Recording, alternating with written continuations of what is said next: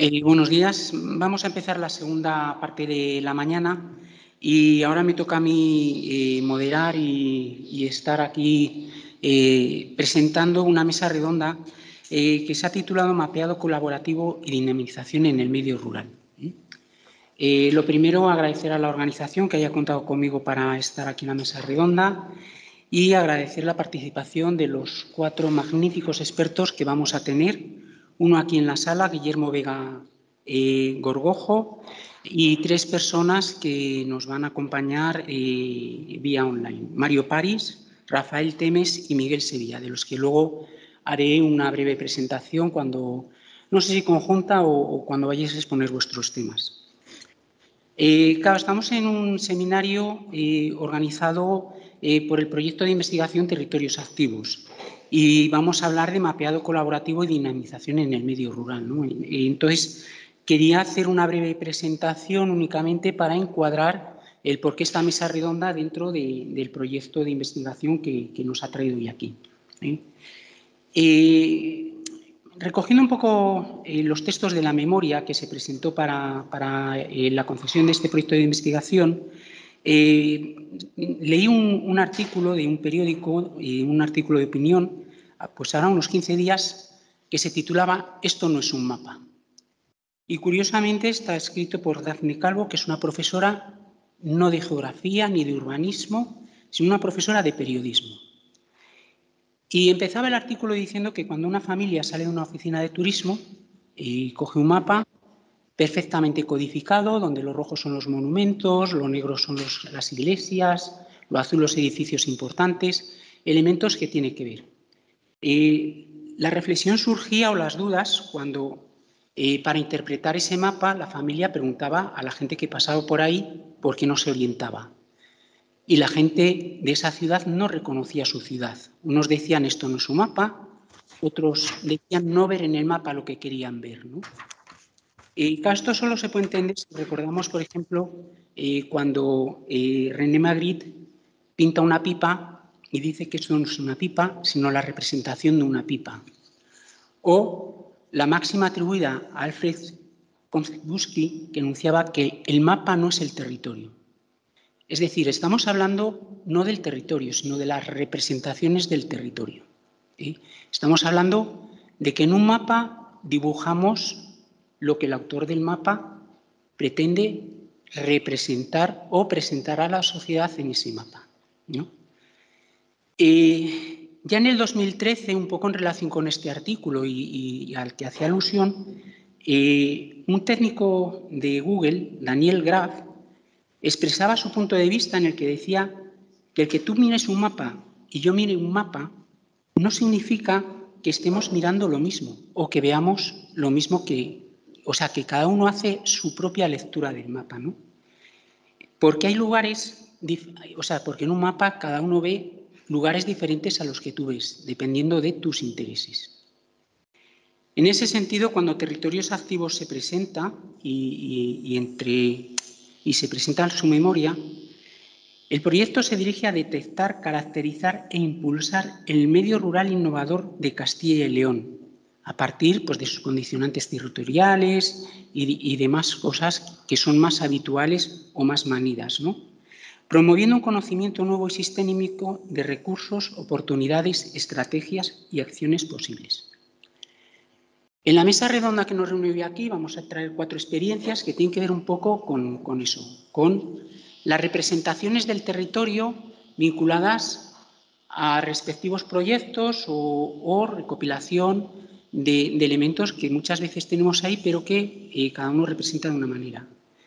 Habría una quinta, pero no puedo hacer un spoiler porque se va a presentar esta tarde el web mapping del que os he hablado eh, de territorios activos, es decir, la representación que Territorios Activos, un proyecto de investigación todavía en marcha, está haciendo sobre eso que quiere descubrir, en este caso, en el medio rural de Castilla y León. Por tanto, yo creo que eh, quizá me he alargado ya un poco más de lo que debiera, entonces, voy a presentar a los cuatro ponentes en la mesa redonda, eh, a los que les pido también cierta brevedad, como ya os he enviado por correo, para poder tener luego un debate, porque son cuatro iniciativas que, aunque a lo mejor en principio puedan parecer muy similares, porque en, todas se trata al final de cartografiar, de representar en un mapa aquello que cada uno ha creído de interés en sus proyectos o en sus investigaciones, pero a veces los matices o el cómo se quiere representar o, esa cartografía, digamos, oficial frente a esta otra muy dirigida a cada uno de los proyectos, eh, pues creo que puede abrir un debate muy interesante. Eh, nos acompaña eh, Mario París, en la pantalla lo tenéis arriba a la derecha, profesor del Departamento de Ingeniería y Ciencia Aplicada de la Universidad de los Estudios de Bérgamo, gran conocido y amigo del instituto, hizo aquí el predoc y aquí en Valladolid leyó su tesis doctoral. Bienvenido, Mario.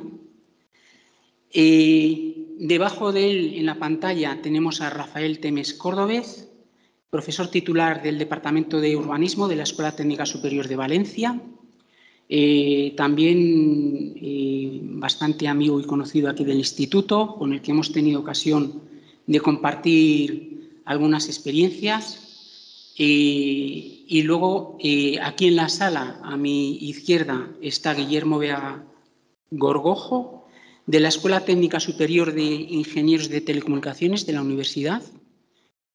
también interesante porque parece que en una mesa en la que todos somos urbanistas o parece que todos tenemos que ver con, el territorio, yo creo que hay otro territorio ahora mismo que es el territorio del data mining, que llaman unos, de la inteligencia de datos, inteligencia artificial, que es muy interesante explotar y él nos va a mostrar un ejemplo de ello, ¿no?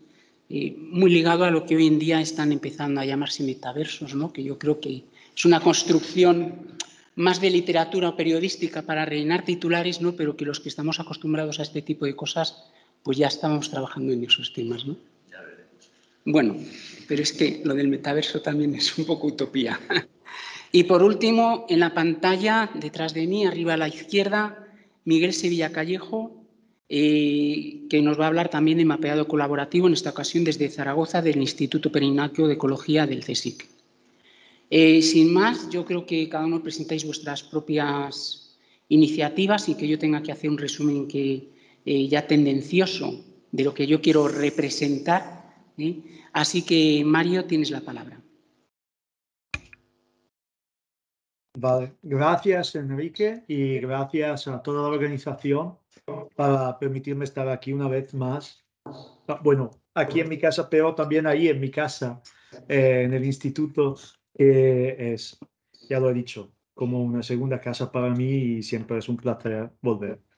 Y, también volver presentando a unas iniciativas que hemos tenido el año pasado con unos estudiantes de la Universidad de Bérgamo, de un curso nuevo que llamamos Geourbanística, donde trabajan juntos geógrafos y urbanistas en formación sobre un espacio rural en concreto que es el monte de la provincia de Bérgamo. Ah, trabajamos valles, pero al final intentamos sacar adelante este, esta lectura que ya vamos a un tema del monte como sistema. Ah, a raíz de esto, podemos reflexionar también sobre el papel del mapa, ¿no? Y ah, bueno, para nosotros el mapa no es simplemente una representación, sino que también es una herramienta. Herramienta que es ah, a través que es posible entender, comprender el territorio, comprender en el doble sentido de la palabra. Yo estoy obsesionado con la palabra comprender, que todos los idiomas que la, neolatinos uh, consiste en entenderlo, pero también uh, juntarlo, mantenerlo todo junto, ¿no? Y es verdad que a través de un mapa podemos comprender las escalas, las redes, los actores, junto a la forma física del territorio y también desarrollar diagnósticos, ¿no? Así que ah, es una herramienta de representación, de reflexión y también de trabajo. Pero también para eh, los estudiantes y desarrollando esta experiencia, hemos aprendido que un mapa es también un proceso donde se pueden explorar fuentes distintas, uh, buscar temas que hay que representar. Es muy interesante y luego uh, volveré en ello, pero que uh, se presente hoy un debate sobre cómo se mapifica la dinamización, que es, uh, que quiero decir, representar algo que es dinámico, y ya podríamos profundizar diciendo uh, que quiero decir representar algo que es rural, que Víctor en este sentido ha hecho un esfuerzo, creo, extraordinario y bueno, dentro del instituto ya se trabaja desde hace muchísimos años este tema y uh, representar esta complejidad no es simple, ¿no? Y uh, como es un proceso, no es simplemente lo de trabajar un, territorio, sino hacer visible lo que está detrás, ¿no? Y este proceso de creación de datos, no solo de representación de datos, yo creo que es algo, una baza que tenemos ahí y que se puede aprovechar. Aprovechar colaborando entre expertos, pero también entre habitantes de distintas formas, ¿no? Y al final el mapa es también un resultado, una fotografía de una situación, pero que nos permite marcar escalones y a lo largo del tiempo también ver la evolución de cómo va cambiando un territorio. En este sentido, ya la dinamización sería más visible, ¿no?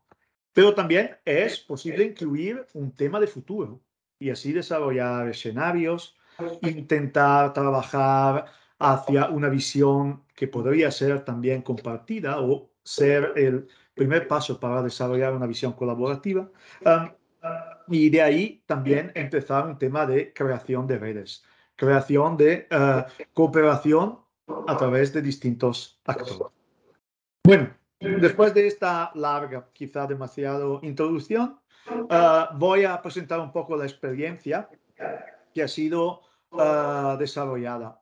Mm, por tres grupos de estudiantes de cinco o seis personas y que han estado dentro de este territorio y han intentado conocer, conocerlo en el primer cuatrimestre a través de una uh, experiencia más, uh, uh, podríamos decir, académica. Así que es, ha sido un trabajo basado sobre la estadística, datos oficiales, datos podemos decir, institucionales, y luego ya yendo a lo que es el territorio. Así que teniendo esta base que le servía para, uh, podemos decir, empezar a moverse, han empezado a trabajar ya en el territorio yendo a, uh, a, a, recaptar datos y a modificarles.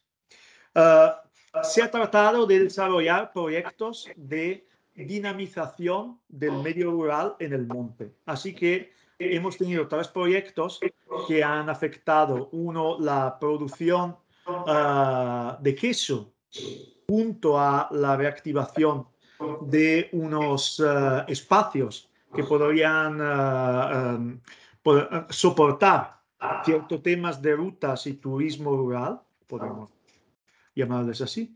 Una segunda opción que ha sido más enfocada al tema del smart tracking en, y distintas formas de trabajar um, en remoto desde el monte y teniendo, por ejemplo, distintas, distintas temporadas pasadas en el monte trabajando y la, pro, pro, el, el, tema era cómo se, pro, se, uh, se deja la tecnología y la infraestructura tecnológica y de la hospitalidad para soportar este equipo de nuevos trabajadores.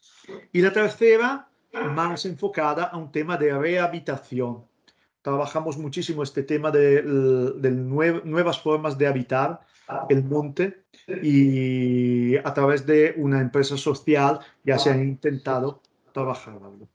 Uh, son tres trabajos muy distintos, no tenemos tiempo para ver los tres uh, y os voy a enseñar solo uno, el primero, y lo hacemos a través de un vídeo y así luego ya introduzco, uh, acabo la introducción, os enseño el vídeo comentándolo y ya acabo mi presentación. ¿Por qué el vídeo? Porque el vídeo es una herramienta que nos permite conjuntar tanto temas de mapas, sino que de interpretación. Así que tenemos las tres, podríamos decir, mmm, fases que Mike Batty nos uh, recuerda siempre, siempre, ¿no? El sensing, el mapping, el interpreting.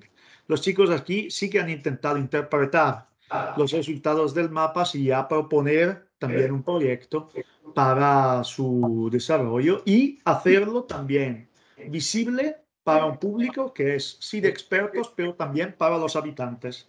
Así que les hemos pedido que colaborasen con un código que es muy enfocado también al tema de la, de la representación técnica y conjuntarlo con un tema más ah, abierto para personas que no tengan un, gran experiencias con temas técnicos. Y, remato con ah, lo que yo creo que es mm, la oportunidad y los límites de, esto, de este trabajo. Yo creo que la oportunidad está en crear un conocimiento original. Antes he apreciado muchísimo la, la, propuesta de este Valle Digital porque nos permite enfocar una, o redescubrir en este caso, porque lo que iremos viendo es el redescubrimiento de una red que ya existía y que se había olvidado, uh, y darnos una perspectiva que puede ayudarnos a, a enfocar proyectos para dinamizar el territorio.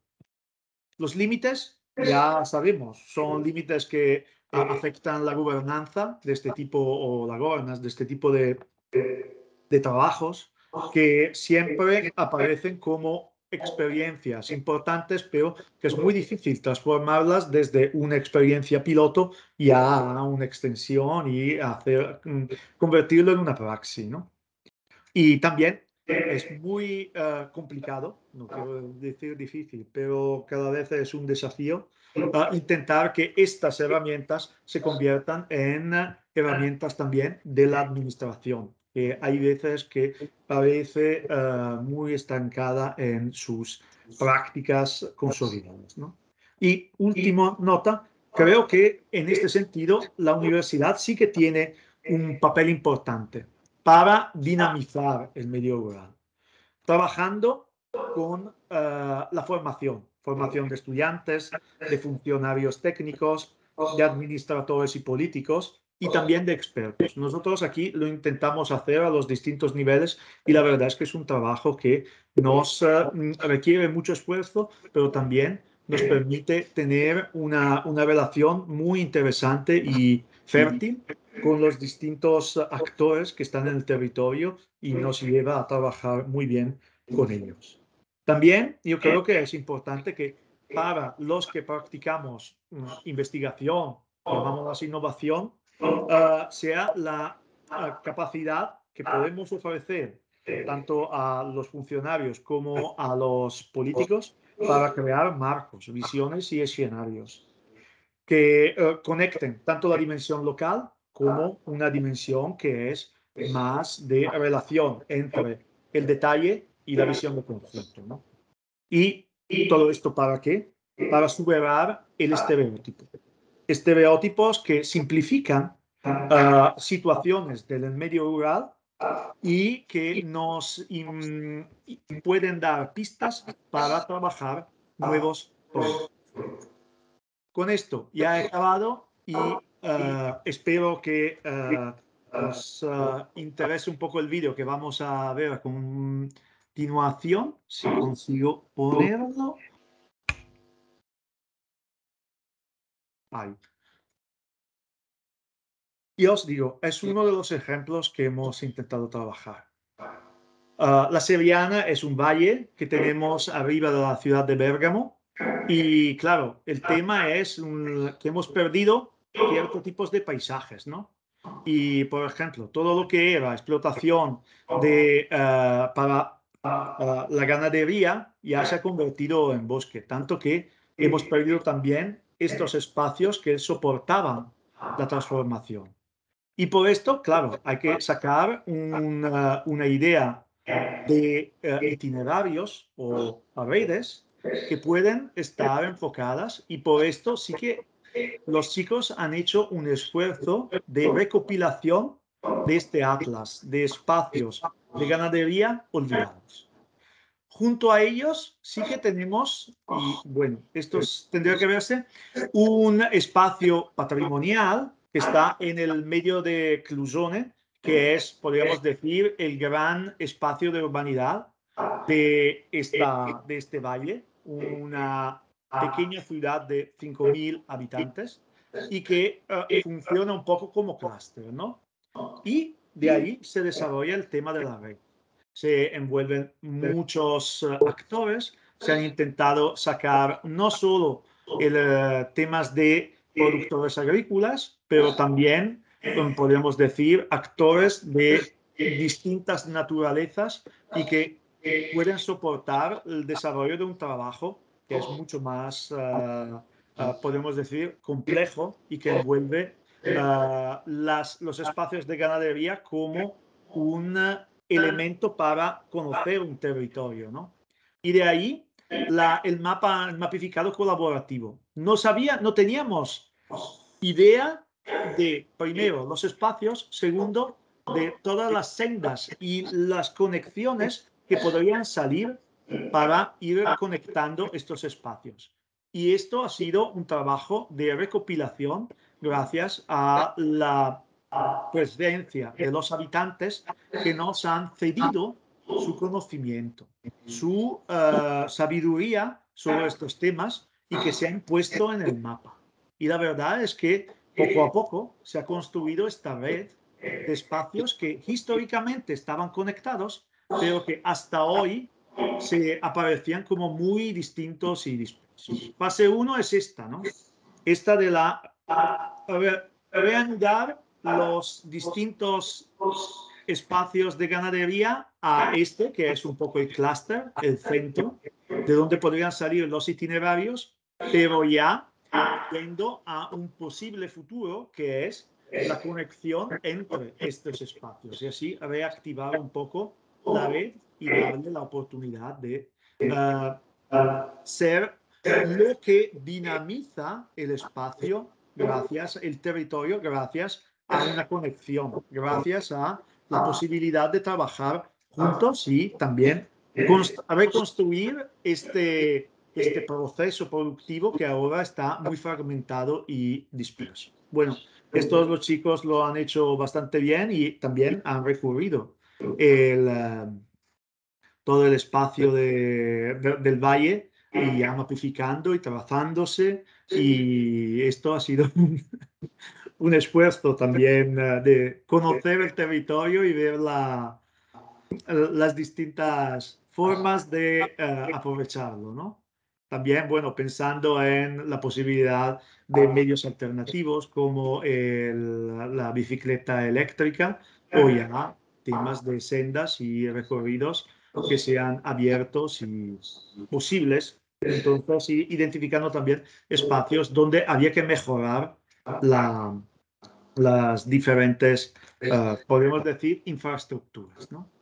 Reconociendo que son espacios naturales, pero a la vez muy afectados por el trabajo del hombre en el tiempo, ¿no? Y esto, por ejemplo, ahora no os lo he puesto con el sonido, pero hay también entrevistas y uh, todo un tema de información que está disponible dentro del mapa final que, que se puede ir uh, pinchando y también escuchando las voces de los distintos actores presentes. Y esto es un poco el tema de redescubrir este, esta red, este espacio de, uh, de interacción entre hombre y naturaleza, ¿no? Y esto ya acabando podemos uh, ir más rápido porque Ah, es esta interacción entre los espacios de producción y también otros espacios para la venta, para la transformación del producto y de ahí ah, mm, un desarrollo también de temas educativos conectados con los itinerarios que se enriquecen siempre de posibles nuevos utilizadores y, y llegando también a públicos que probablemente antes no conocían estos espacios. Y ya uh, acabamos con esta posibilidad de volver en, y reutilizar también los, espacios, uh, podemos decir, más urbanos, pero en este sentido y en esta perspectiva de la red. Y aquí podemos también acabar.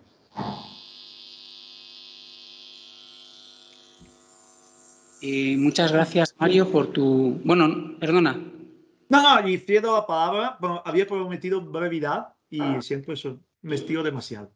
Bueno, contamos con que todos nos estiramos, ¿no? Incluso yo en la presentación. Eh, muchas gracias por tu exposición. Eh, he, apuntado dos ideas que luego me gustaría llevar al debate porque eh, creo que van a ser comunes en, en, muchas de las participaciones y muchos de los que participamos en temas de estos. Así que muchas gracias y luego volveremos sobre el tema porque quedan pendientes temas ahí por tratar. Eh, la mesa redonda, la, segunda intervención, eh, corre a cargo de Rafael eh, Temes. Rafael Temes ya ha dicho que es doctor arquitecto por la Universidad Politécnica de Valencia y bueno, pues él está muy vinculado a proyectos de investigación y enseñanza con sistemas de información geográfica, con, con, el despliegue en el territorio de actividades y demás. ¿no? yo echaría en falta en las breves notas que me manda el currículum que no has puesto que eres el coordinador del libro eh, SIG Revolution, eh, que yo creo que es de la poca bibliografía que ahora mismo más actual hay sobre temas de SIG, ¿no? Es decir, que nos tenemos que remontar a, la, época de Bosque Sendra para encontrar un libro que aborde estos temas eh, del SIG y la planificación urbanística o, el conocimiento geográfico para, para, tener no solo artículos de revistas, sino un documento de, de, consulta. Entonces, bueno, en ese sentido yo quería destacarlo aquí, ¿no? Entonces, bueno, pues mm, te dejo a ti ahora eh, espacio para tu presentación, que además coincide casi con el primer aniversario, ¿no? Ha sido hace cuatro días eh, de la erupción del, volcán en, la isla de, La Palma y tu, propuesta va sobre ese tema. Eh, muchas gracias por estar, Rafael, y por aceptar la invitación. Bueno, pues buenos días a todos.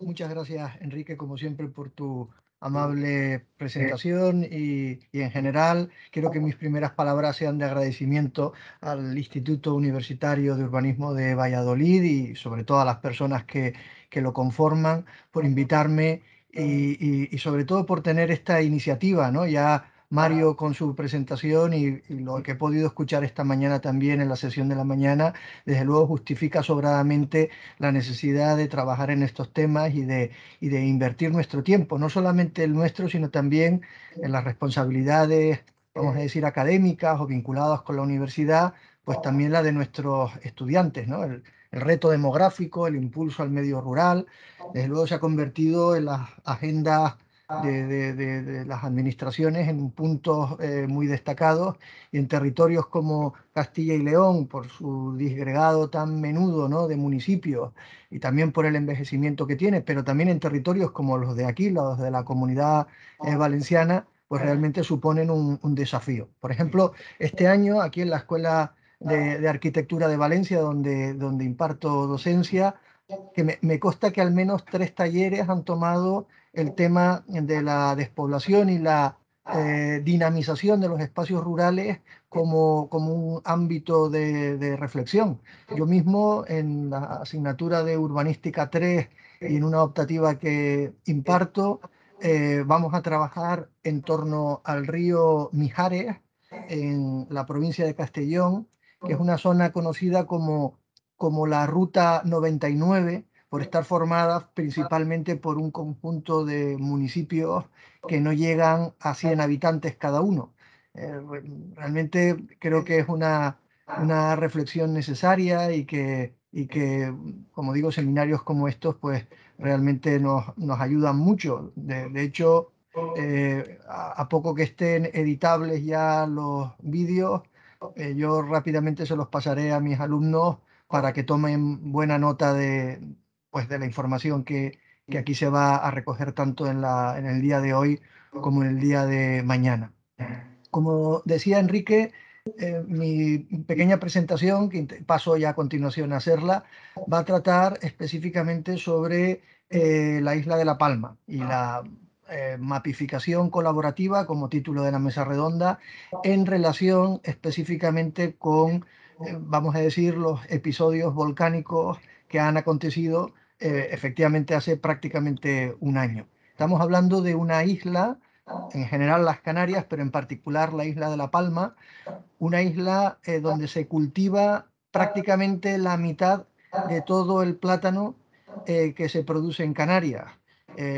Una isla que se ha visto afectada aproximadamente por unas 1.200 hectáreas, que eso viene a ser como la ciudad de Melilla aproximadamente, eh, por las escorias volcánicas, eh, produciendo evidentemente pues, un, un, eh, un cambio de dinámica, en este caso negativo inicialmente, para muchas familias. Más de 10.000 familias están vinculadas directamente al cultivo del plátano en una isla cuya población es de 85.000 habitantes. ¿no?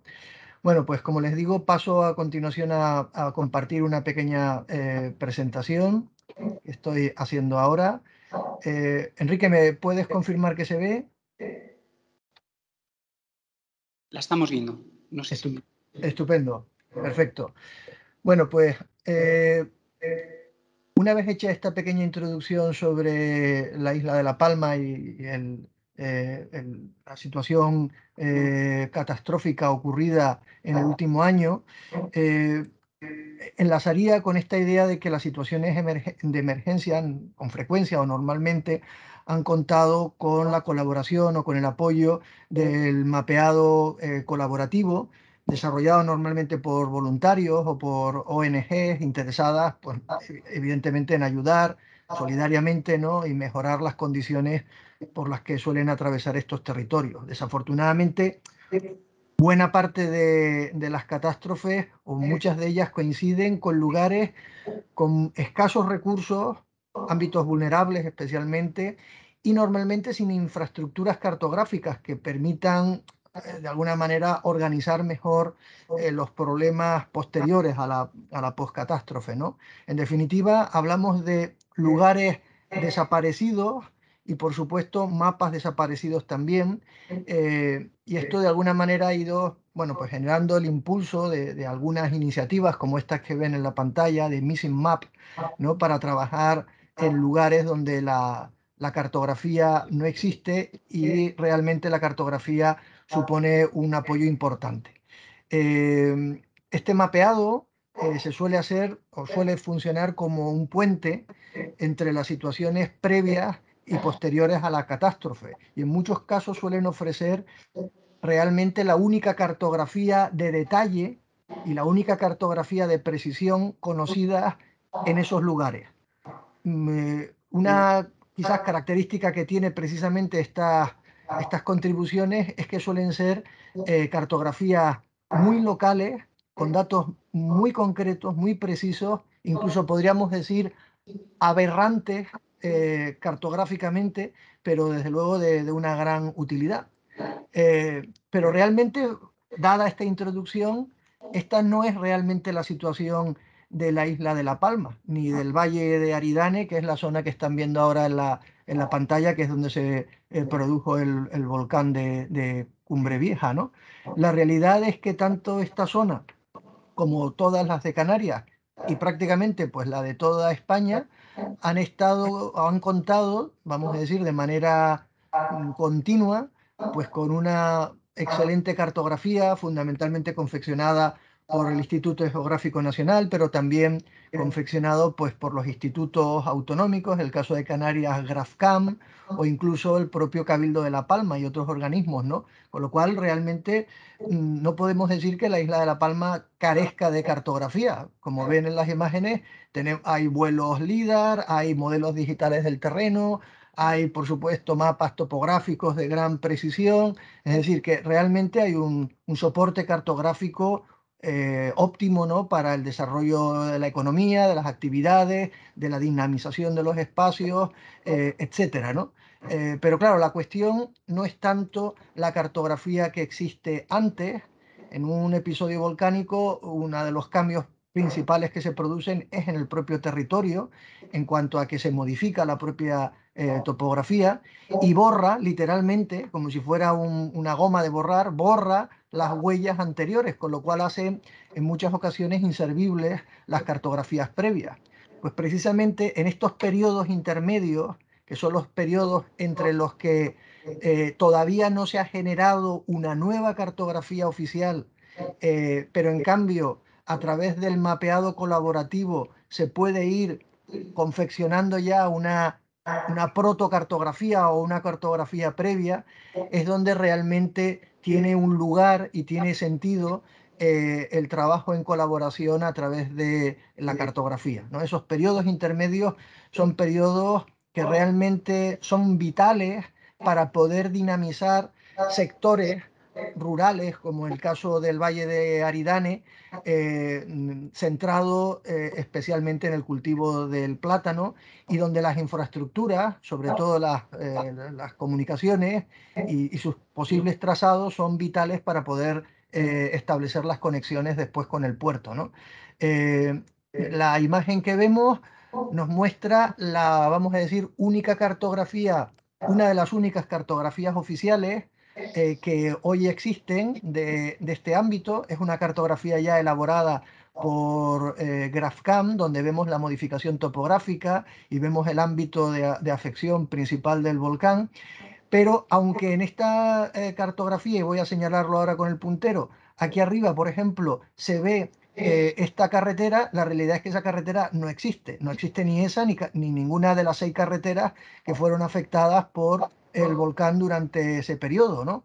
Eh, con lo cual tenemos cartografías o como esta otra, esta es una cartografía hecha por el Instituto Geográfico Nacional, es, un, es una hoja única del 50.000 especial que se elaboró para eh, efectivamente poder visualizar la posición de las lavas volcánicas en el valle de, Aridane. Eh, es una cartografía magnífica, pero de nuevo eh, quizás carece de esa necesaria actualidad que por otro lado sí que empieza a poder construirse a través de eh, aplicaciones o a través de proyectos como el de OpenStreetMap. ¿no?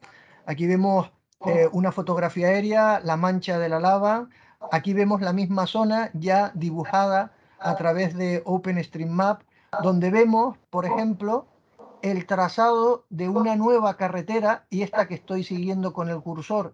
Es una carretera real, prácticamente inaugurada hace unos pocos meses, que es la primera carretera que, como ven, atraviesa desde, en este caso, desde la zona de la laguna hasta la zona de las Norias, atravesando pues la parte principal de las coladas y permitiendo la conexión en este sentido de la isla que estaba, pues como pueden observar, completamente bloqueada por, la, por el campo de lavas, ¿no? Igual que esta, pues también ahora en esta cartografía colaborativa se ve en línea discontinua unos tramos, que son estos tramos que estoy resiguiendo un poco con el, con el punto de luz, que son, es la antigua carretera de la costa, que ahora mismo se está también eh, procediendo a, a, intentar habilitar. Y claro, esta, esta información esta información es invisible si no es gracias a eh, colaboraciones como esta. ¿no?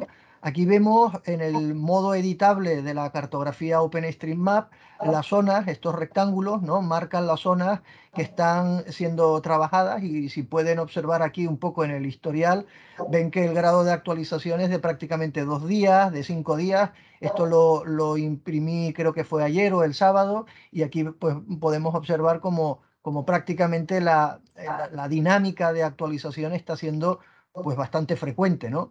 Aquí podemos observar ahora otro detalle, un detalle inferior de esa carretera, como comento, que se está eh, empezando a abrir, ahí vemos ya los trazados nuevos y, un par de detalles más, pues simplemente para apuntar esta idea, ¿no? Esta idea que, que realmente es tan eh, útil, ¿no?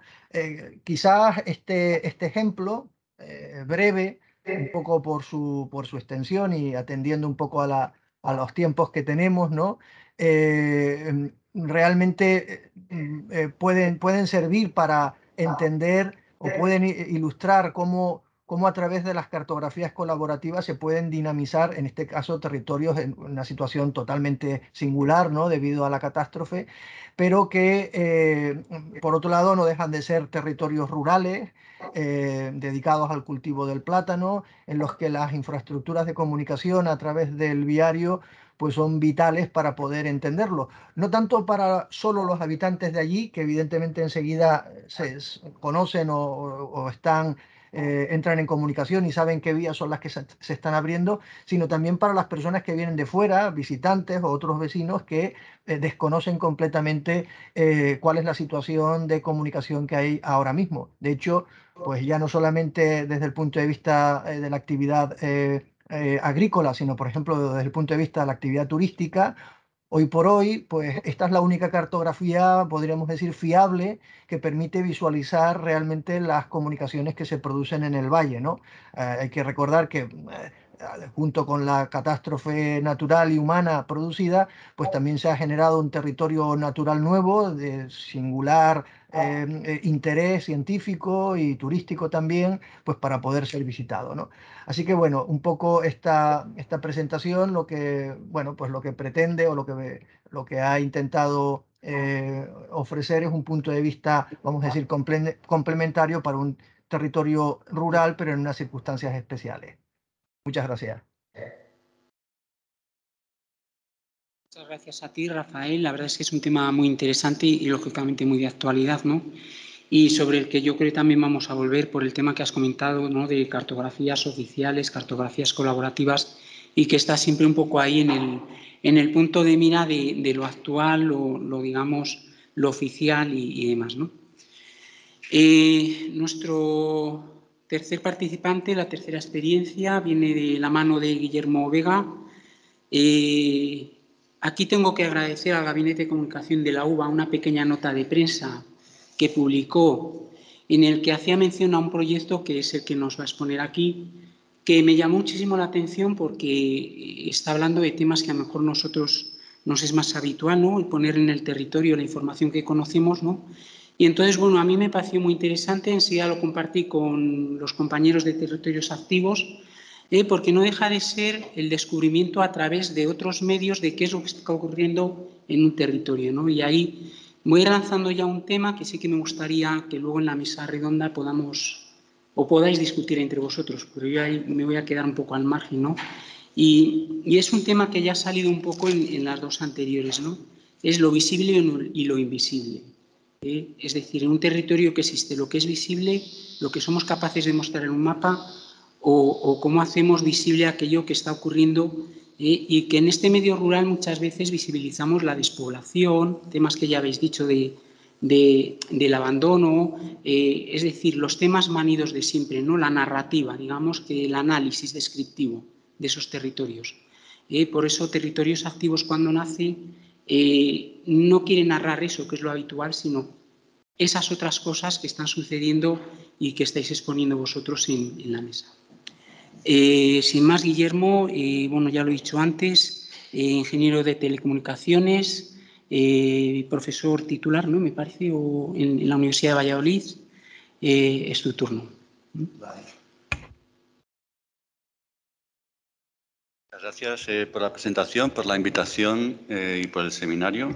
Gracias a los asistentes.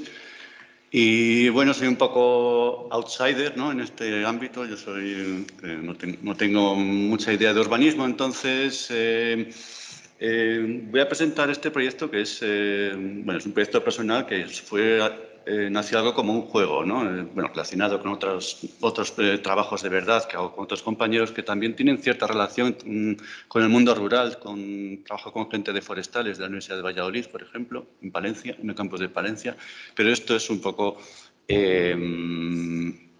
al margen.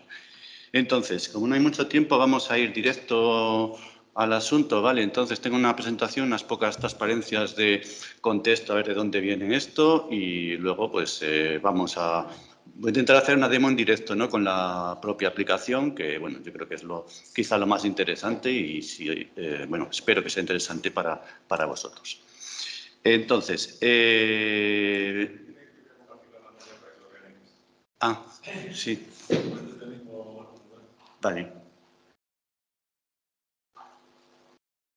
Ah, claro, sí, sí. Vale. Bien, pues entonces, eh,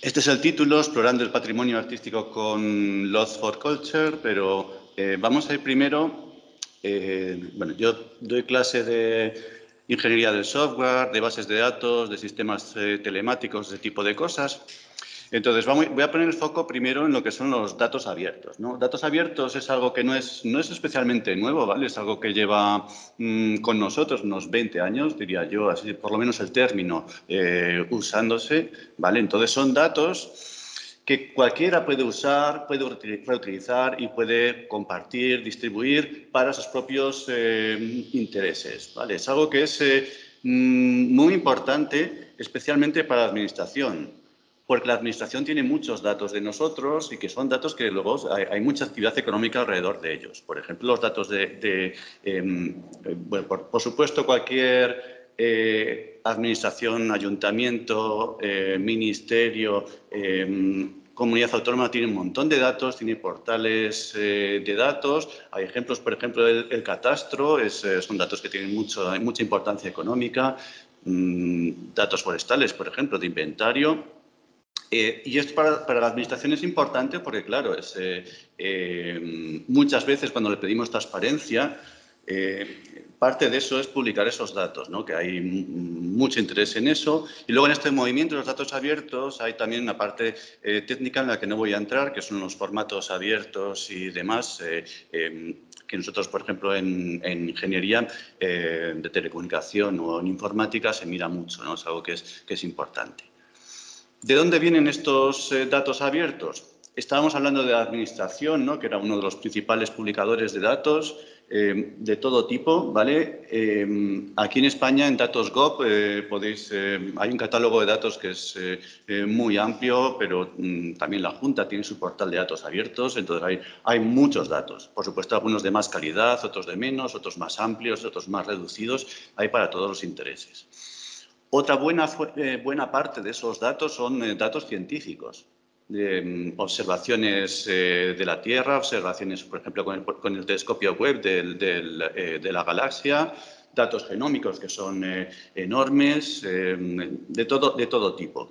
Y luego, por último, donde voy a poner el foco en los, y tiene relación con, con, la ciencia ciudadana, son estos datos que son ya creados por otras, otros organismos, otras fundaciones sin ánimos de lucro, y en concreto en dos fuentes de datos eh, que mm, posiblemente nos suenen, eh, que son Wikidata y DBpedia.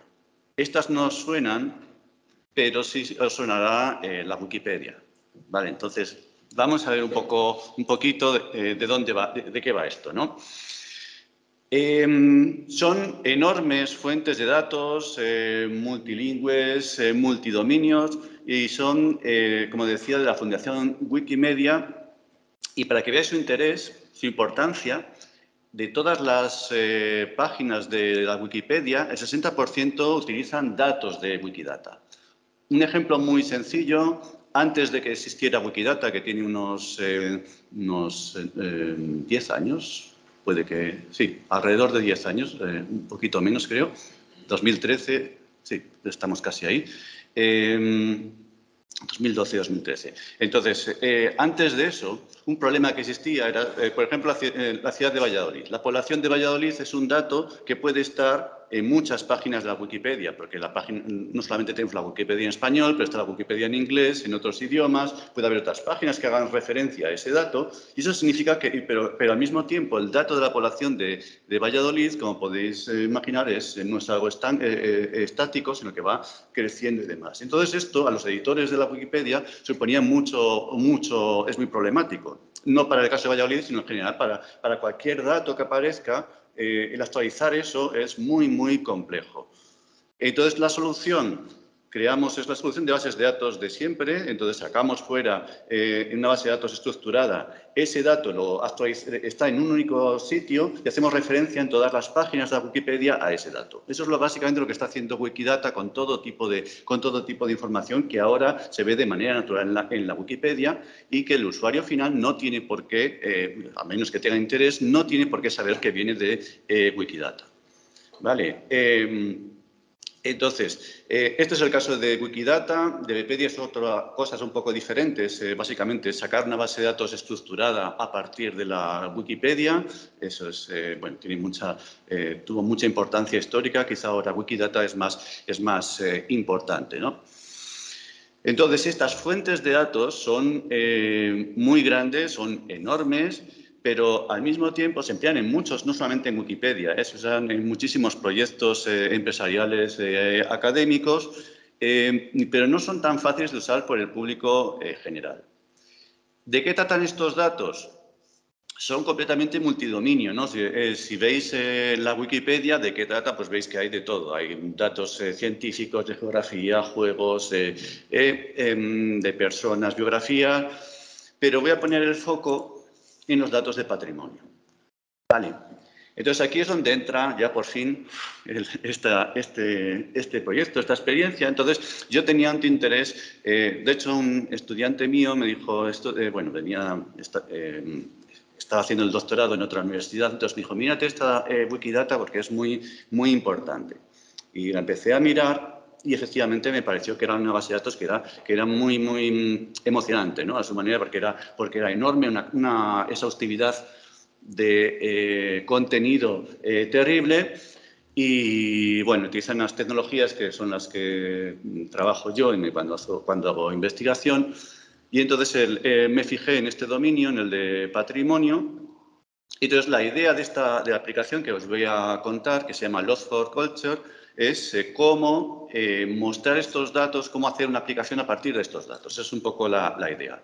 Utilizo Wikidata, pero también de Wikipedia, aunque en un segundo plano.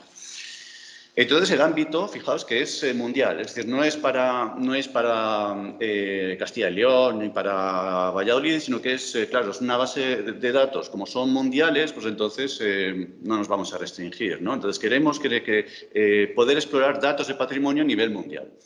Los datos no los pongo yo, los ponen, son datos abiertos, tienen licencia abierta, se pueden utilizar para eso, son de Wikidata y de Wikipedia. Y luego la manera de visualizarlos, como estoy pensando que eh, los usos van a ser turismo y educación de patrimonios, más o menos lo que, lo que había pensado.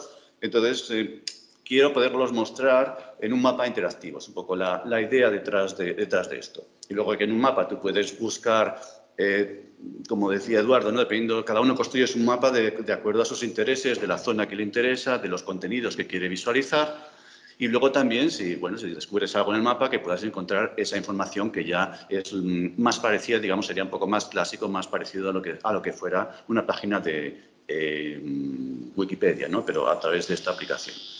Y luego también queremos que sea portable, es decir, que no tengamos que mm, instalar, es decir, que no haga falta el superordenador, sino que yo con un teléfono móvil puedo utilizar esta aplicación y bueno, pues eso es el, asunto, simplemente utilizando un navegador.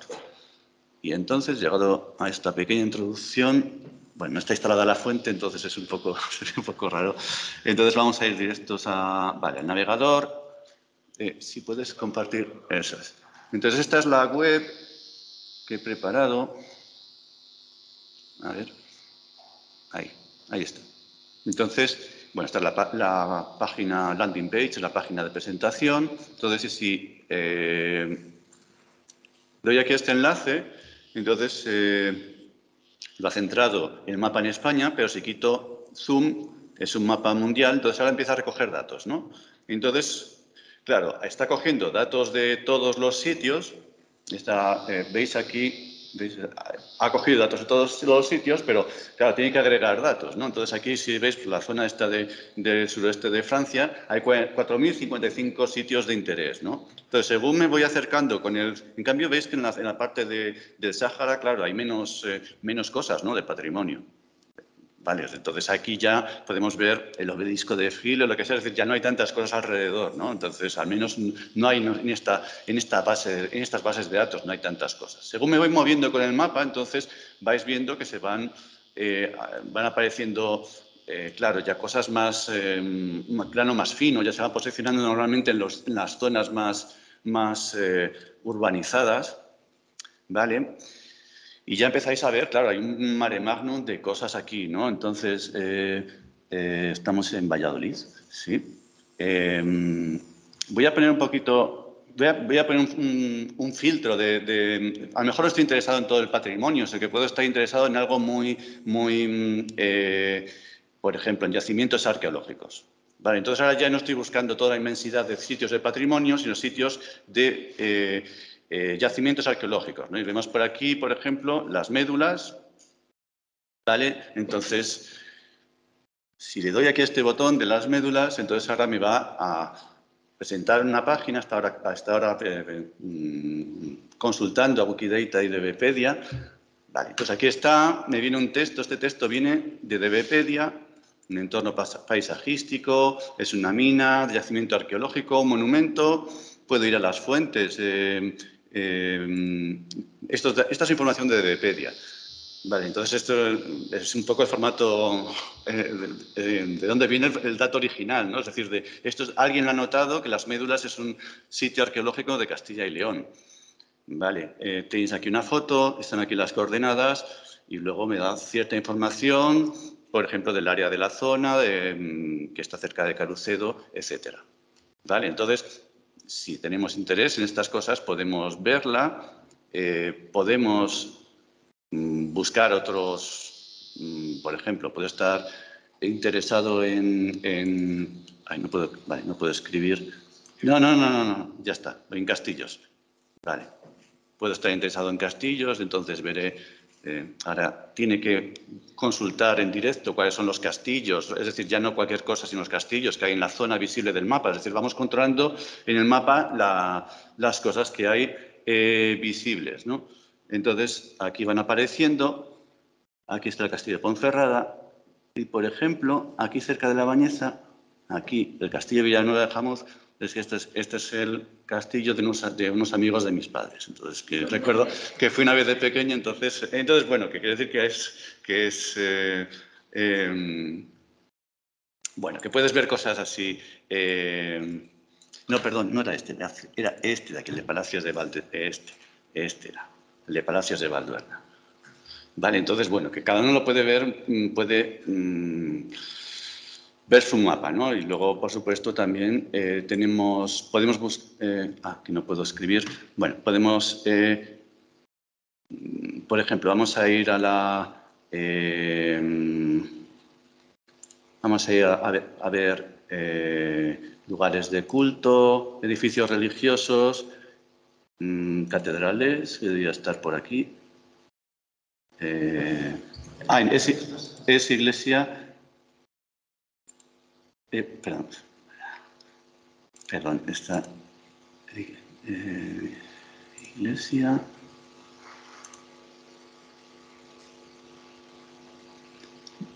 ¿Dónde la habías visto? Que no, que no.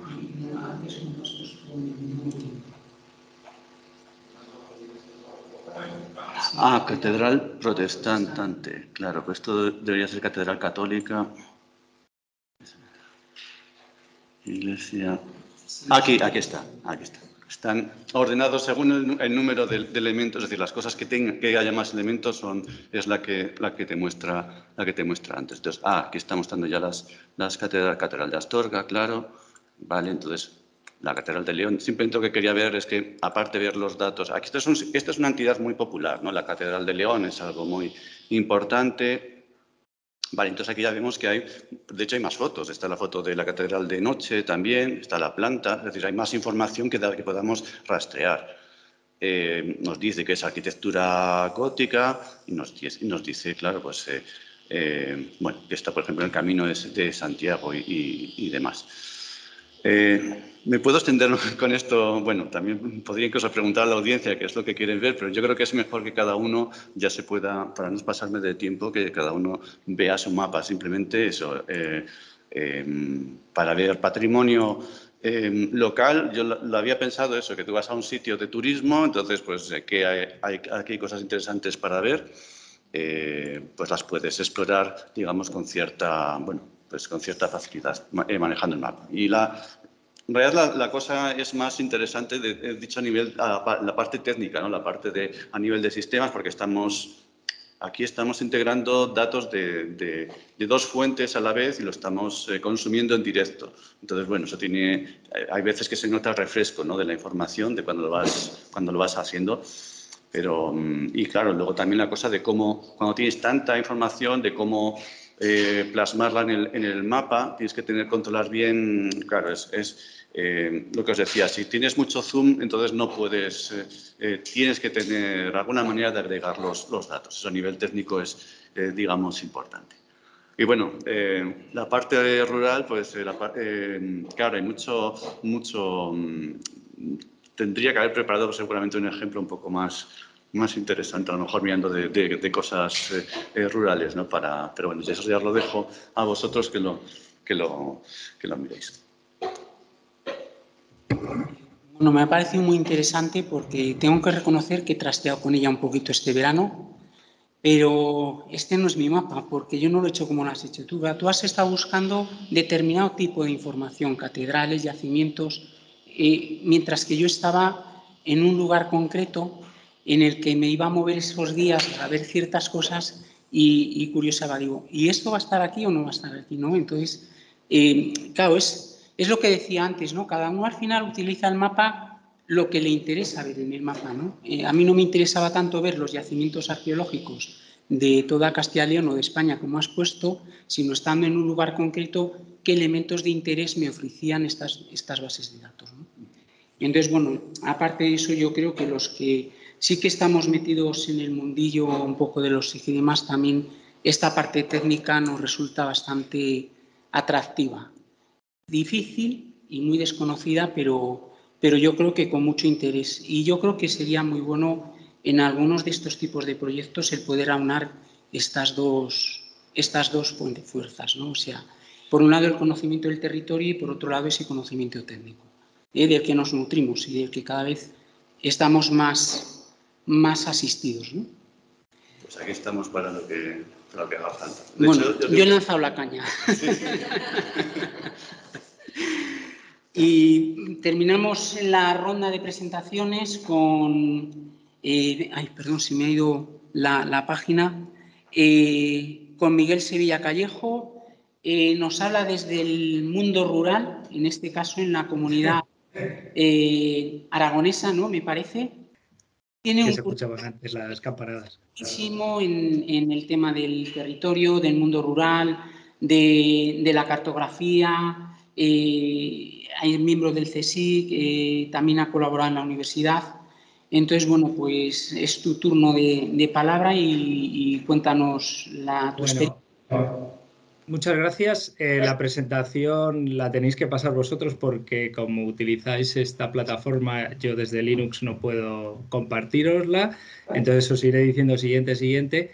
Bueno, y mientras que las vais cargando, eh, bueno, agradeceros eh, invitarme eh, a participar en esta mesa redonda y en este congreso y, comentaos, bueno, que ya lo has dicho, soy Miguel Sevilla Callejo, sobre todo vengo aquí de la parte de la coordinación del grupo de mapeado colaborativo Inquietos Zaragoza, que coordino junto con otros colegas, y también por la parte de, como miembro de la comunidad de OpenStreetMap de, de España. Eh, bueno, vale, voy diciendo siguiente y ya os voy contando. Eh, a ver, yendo un poco, se me escucha bien, ¿no? Sí. Que escucho algo de reverberación. Vale. Em, eh, a diferencia un poco de lo que han traído mis compañeros, un poco lo que intento es traer una es la herramienta, lo que es OpenStreetMap. Afortunadamente ya habéis eh, adelantado, sobre todo Rafael, cómo se puede utilizar, con lo cual va a ser muy interesante. Os voy a hacer una introducción de lo que es esto, ¿no? De la información geográfica voluntaria y en concreto OpenStreetMap. Siguiente. Bueno, eh, a ver, la información geográfica voluntaria eh, surge del actual paradigma tecnológico del conocimiento y la ciencia, siguiente, que viene a a ponernos, como ya había explicado esta mañana Jesús a primera hora, viene de la mano de esta cuarta revolución industrial y de, nuevas tecnologías, ya no tan nuevas en el 22 en el que estamos, eh, nueva eh, la combinación de la nueva web, la, web 2.0 que ya será la 3.0, el que todos podamos tener en nuestras manos un dispositivo con localización por satélite, el desarrollo de nuevas eh, de, programas de software libre, el Open Data del que acaba de hablar Guillermo y que posibilita y da fruto a que cualquier persona en cualquier momento pueda crear, distribuir y, compartir información que tiene un componente espacial, tiene una localización en, el, en latitud y en longitud. Siguiente. Bueno, entonces aquí la idea, aunque bueno, ya spoiler, ya me han adelantado, es imaginad que existe un lugar en la que puedes poner tu calle, tu pueblo, tu, el camino a la ermita, los eh, edificios más singulares, la fuente, aquella colada volcánica, una plataforma pues que sea madura, abierta, libre, colaborativa, que sea sencilla de usar, también para colaborar e incluir datos, que tenga una comunidad amplia de editores Imaginaos que pudiera haber algo así como la Wikipedia, pero en vez de artículos enciclopédicos fueran elementos geográficos. Siguiente. Pues la buena noticia es que efectivamente ya existe, ya hemos hablado de ello, que es OpenStreetMap. ¿Vale? Que le podemos, se le viene a llamar de hecho la Wikipedia de los mapas siguiente, y en el que tenemos multitud de información. Lo que más llama la atención es cuando te metes en la página web openstreetmap.org, es este mapa típico de carreteras y de un mapa típico web que todos habréis usado, bueno, ya hemos visto incluso en, lo está utilizando Guillermo en su, en, su proyecto, en el que tenéis información de vías pecuarias, de usos de suelos, elementos topográficos, multitud de información. Siguiente. Pero lo más interesante de esto es que es una base de datos eh, que está compuesta por más de 9 millones de usuarios registrados, de los cuales podemos dar cita más de 150 que están trabajando en el territorio español todos los días, que la base de datos, que es el núcleo, en realidad lo que es OpenStreetMap, la base de datos espacial, tiene más de cerca de 8 millones de 8 mil millones de, nodos, de los cuales a nivel, eh, todos los días son modificados o creados en torno a 3 millones, de los cuales entre 40 40.000 y 50.000 son solo en el territorio de España, se están moviendo todos los días, ¿no? Y que es esta base de datos que, como os digo, es de uso y distribución libre y que tiene una peculiaridad que es que es un, eh, tiene esta licencia Open Database License, de la que hablaré más adelante. Siguiente. Bueno, lo interesante de OpenStreetMap, y lo voy a decir varias veces, es esta comunidad ¿no? que, de entusiastas y que además pues, que cualquiera puede contribuir y ser parte de ella. Siguiente.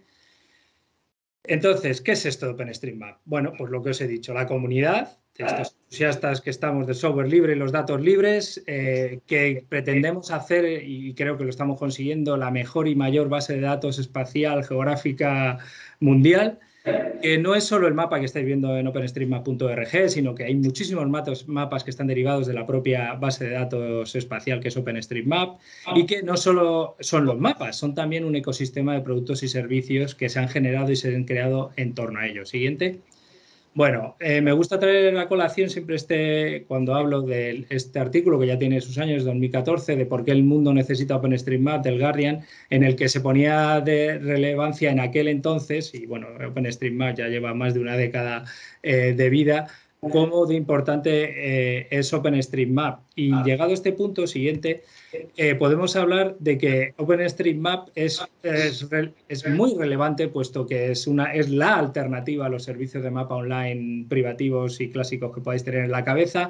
Ya ha hablado Rafael cómo es fundamental para las áreas de ayuda humanitaria o cuando se producen rápidos eh, cambios en la topografía o en, en, en la cobertura de un territorio. Eh, además, con la naturaleza de los datos y cómo es el proyecto, incorpora, podemos incorporar el Open Data del que hablaba eh, Rafael y definitivamente se ha transformado en la plataforma de referencia de información geográfica, geográfica libre eh, global.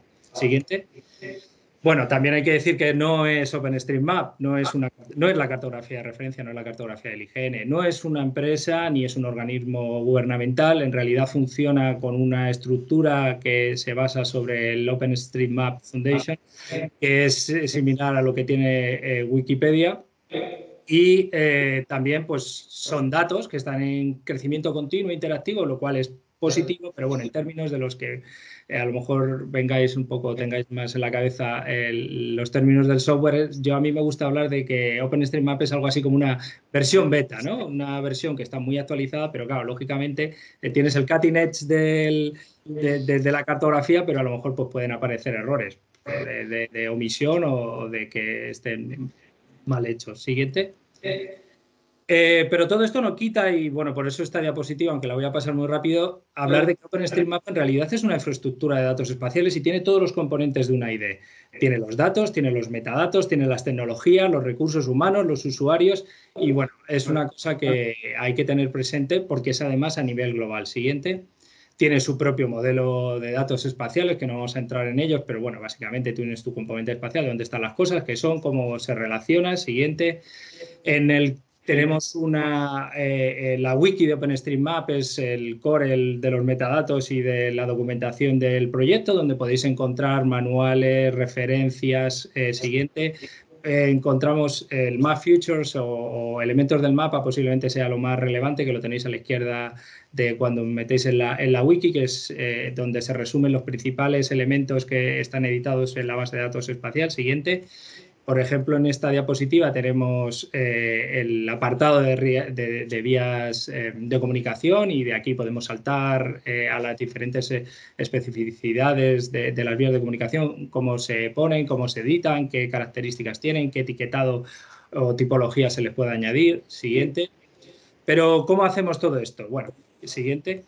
Eh, tenemos algunos grupos, eh, luego si queréis entro un poco en de algunas iniciativas que, hemos que, tenemos. Nosotros tenemos esta, el grupo de mapeado colaborativo Inquietos Zaragoza, siguiente, en el que proponemos actividades de mapeado sobre eh, específicamente sobre la ciudad. Aquí tenemos algunos de cuando salimos a hacer mapeado de, la red peatonal eh, urbana de la ciudad para luego eh, evaluar la movilidad eh, peatonal que, hay en la ciudad de Zaragoza. Siguiente. Luego, con esa información que tenemos en el campo, la subimos a la base de datos. Y lo bueno que tiene es que una vez que tú tienes esa información metida en la base de datos, está disponible para cualquier persona en cualquier parte del mundo, con lo cual es extraordinariamente enriquecedor y útil. Siguiente. Bueno, eh, esta diapositiva es un poco de cuando estábamos haciendo ese trabajo de campo, como eh, la, realidad pues se, eh, se puede pasar en elementos espaciales con unas coordenadas, las meteríamos, y también con unas características, un etiquetado de las tipologías que hay. Siguiente. Para ello, Disponemos de, disponemos de diferentes editores, este es muy sencillo, lo puede usar cualquiera, que sea un editor embebido web, que no hace falta, solo hay que darle a editar y ya directamente eh, tiene. Siguiente, también tenemos un eh, editor más sofisticado y avanzado, que utilizado si, diera el caso para meter eh, información más específica. Siguiente, incluso tenemos base, editores que podemos utilizar directamente eh, en el móvil. Siguiente. Sin olvidar todo esto de que es una comunidad amplia, una eh, información eh, importante y que tenemos bastante presente la calidad de los datos y el control de los mismos, ¿vale? Y bueno, pues hay un apartado específico dentro de la wiki que me gusta mostrar porque es lo típico de, pero ¿y esto cómo sabes que está bien? Porque hay mucha gente mirando, es como la Wikipedia, pero eh, cuando alguien escribe un artículo eh, en la Wikipedia, pues hay alguien que lo pueda estar, eh, lo pueda estar revisando, ¿vale? Pues una cosa similar hacemos nosotros en OpenStreetMap. Siguiente. Y bueno, también recordaros, si también lo tenéis en la wiki, si le dais una vuelta, las centenares de aplicaciones que están gravitando en torno a OpenStreetMap. ¿Vale? Siguiente. Y por ello podemos decir que OpenStreetMap es un proyecto de éxito. Siguiente, que se usa en, Europa. El propio portal de datos europeos, datos abiertos europeos, lo, se está utilizando profusamente OpenStreetMap. Siguiente, eh, la propia de, eh, Dirección General de Tráfico a nivel estatal lo usa para fastidio de los de la gente del IGN que no usan su cartografía, sino, vamos a decir, la nuestra, aunque es de todos. Siguiente, un ejemplo de la Junta de Castilla y León. Eh, siguiente, mm, la Generalitat Valenciana, más ejemplos sobre infraestructuras educativas. Siguiente, el Servicio Andaluz de Salud tiene todos sus centros eh, de, asistencia sanitaria también metidos en OpenStreetMap y tira de los mapas. Siguiente, los transportes urbanos de Santander. Siguiente, y bueno, algunos, eh, por tirar de algunos ejemplos más eh, rurales, pues uno que hemos llevado a cabo junto con, bueno, que he colaborado yo con, con ello, que es que hicimos parte de la cartografía en OpenStreetMap y luego la reaprovechamos para generar un mapa de, de, visitantes en la reserva dirigida de la Laguna de Gallo Canta eh, entre Teruel y Zaragoza, en el que eh, con esta información que habíamos incluido inicialmente en OpenStreetMap se desarrolló un, mapa interactivo. Luego os paso si queréis el, el enlace siguiente. También, un poco por traer el, ámbito académico en el que me estuve moviendo durante un tiempo, eh, utilizamos esta información para hacer un análisis de movilidad urbana más, vamos a decir, eh, profesional o académica, en el que dirigí varios trabajos de final de grado y de máster para evaluar con esta información que habíamos incluido inicialmente en OpenStreetMap para personas con diversidad funcional, luego evaluar cómo se podían mover, en este caso, en el campus de, San Francisco. Siguiente, y sorpresa, Rafael ya me había hecho el spoiler, había puesto aquí una diapositiva sobre la colada volcánica de La Palma, de la que ya no voy a hablar. Además, me llama la atención porque esta, esto es de una diapositiva que tomé ya hace tiempo, en el que no estaban las carreteras todavía hechas, y me alegro de que haya mostrado Rafael cómo está ya y lo evolucionado que tiene y cómo de importante está siendo o ha sido, bueno, está siendo OpenStreetMap en este tipo de, situaciones. Eh, siguiente, y lo importante es que no solo tenemos la colada, sino tenemos lo que había debajo de la colada, con lo cual podemos evaluar todos los elementos que han sido afectados. ¿De acuerdo? Siguiente. Bueno, para eh, eh, por, suerte o por desgracia, no sé cómo llamarlo, grandes empresas como Amazon, Facebook, Microsoft están editando para mejorar la calidad de los datos de la base de datos de OpenStreetMap, lógicamente, porque como son datos que luego ellos pueden reaprovechar, pues se benefician de ello. Siguiente. Eh, esta imagen habla por sí misma creo que no tengo que decir nada. En el ámbito eh, rural, especialmente, el desarrollo y la calidad de los datos en muchos de los lugares de OpenStreetMap da de patadas a otros, eh, eh, otras plataformas. Siguiente. Bueno, solo un, pequeño toque respecto a lo de la licencia ODBL, que consiste en, es algo así como un Creative Commons by Area que cada vez que utilicéis los datos, eh, por cierto, Guillermo, tienes que citarlo en tu mapa que utilizas de base eh, OpenStreetMap. Tienes que citar eh, los datos, ¿vale? Es lo único que se pide. Úsalo libremente, como quieras, pero siempre que lo cites. Y bueno, también por la naturaleza de la licencia, no podemos importar datos que tengáis o que puedan tener administraciones y que estén en Creative Commons, sino que necesitamos acuerdos específicos de, para que se pueda usar estos datos en OpenStreetMap. Aún así, ya son múltiples las administraciones que nos están permitiendo o nos han dado permiso para importar y usar los datos. Y entonces, pues bueno, se están desarrollando importaciones eh, importantes de, estos datos. Siguiente. Bueno, por ello, si vais a la página web del copyright y de la licencia de OpenStreetMap, pues veis eh, cómo se reconoce a esos colaboradores y pues, hay un apartado bastante extenso donde pues, podéis mirar, de hecho, pues, si no me equivoco, está ahí también lo que nos cede la Junta de Castilla y León, eh, de las instituciones tanto estatales, regionales como locales que están contribuyendo. Siguiente. Bueno, eh, vuelvo a decir esto, OpenStreetMap está lleno de personas entusiastas que amamos los mapas y la información libre, con lo cual no puedo más que eh, pediros o, animaros a que os unáis y, lo, y, lo, y, que, y que que trabajéis sobre esta plataforma de la cual es sencillo eh, editar, es sencillo también sacar los datos. Ya sea, habéis visto cómo se pueden eh, sacar estos datos. Siguiente, tenemos canales de comunicación dentro de la comunidad eh, diversos en los que se puede interaccionar y en el que se puede, en los que estamos ahí ayudando a la gente que llega de nuevas o con proyectos y demás. Siguiente.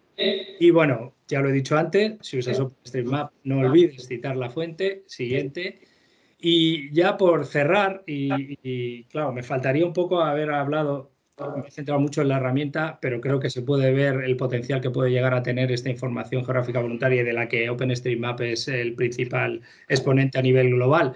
Cómo eh, la cartografía termina siendo una base, un elemento clave en los proyectos de desarrollo rural y entonces, si tú eres capaz de tener esa cartografía en una plataforma como la que es OpenStreetMap, te va a ayudar a que esos eh, eh, proyectos sean mejores, sean más dinámicos, sean sostenibles, Porque claro, si tú esa cartografía la desarrollas sobre plataformas cerradas, eh, esa información se queda exclusivamente en esa plataforma cerrada. Por ello también, pues eso, os animo, no solo para proyectos de desarrollo rural, sino para prácticamente cualquier cosa que podáis hacer en el ámbito espacial, incluirlo en OpenStreetMap, como si se tratara de la Wikipedia, porque lo podemos aprovechar todos.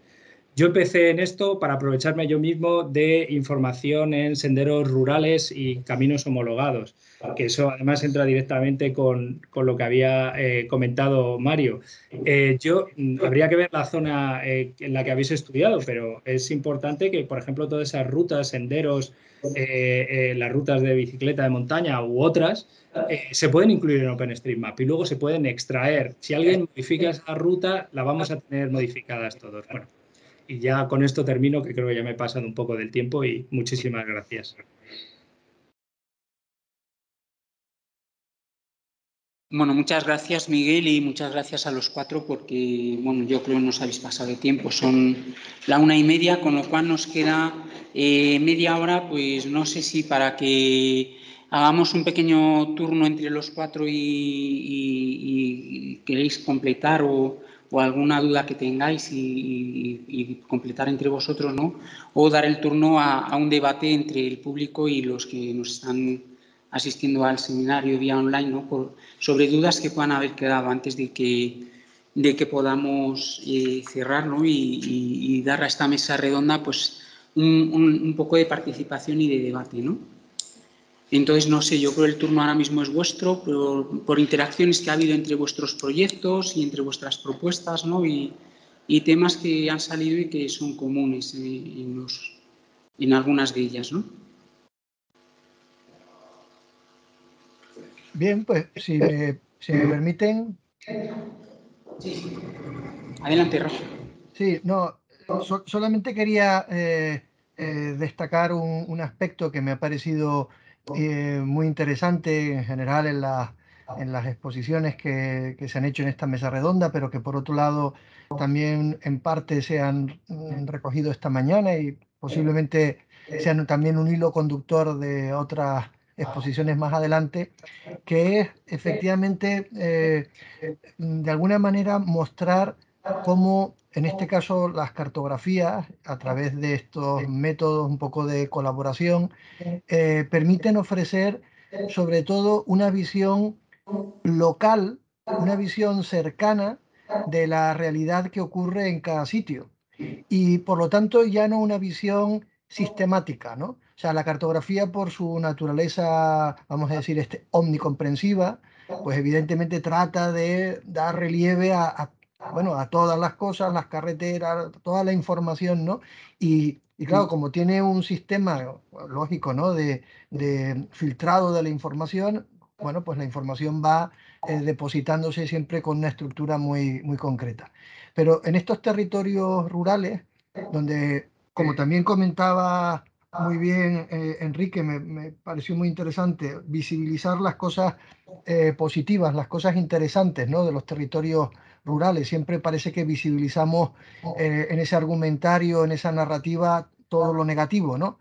Bueno, pues a lo mejor estas cartografías, también estos mapas colaborativos, eh, pueden ayudar a, completar esta visión a través de detalle, información local, que difícilmente eh, un organismo eh, autonómico, ya por supuesto nacional, tendría capacidad para poder mm, eh, informar sobre ello, sobre todo por, por esa capacidad que pueden tener incluso los agentes locales de intervenir, de notificar eh, cosas muy concretas. Yo eso lo veo muy relevante y de hecho pues en los trabajos que hemos ido desarrollando a lo largo de, varios años con alumnos, sobre todo de aquí de arquitectura, donde, hemos trabajado en varios sitios utilizando OpenStreetMap y colaborando con OpenStreetMap, una de las cosas que siempre ponemos de relieve es eso, es que, que somos capaces en algunos casos de dar una información pues que a lo mejor aparentemente parece no muy relevante, pero para el sitio sí que lo es y, puede ser muy útil.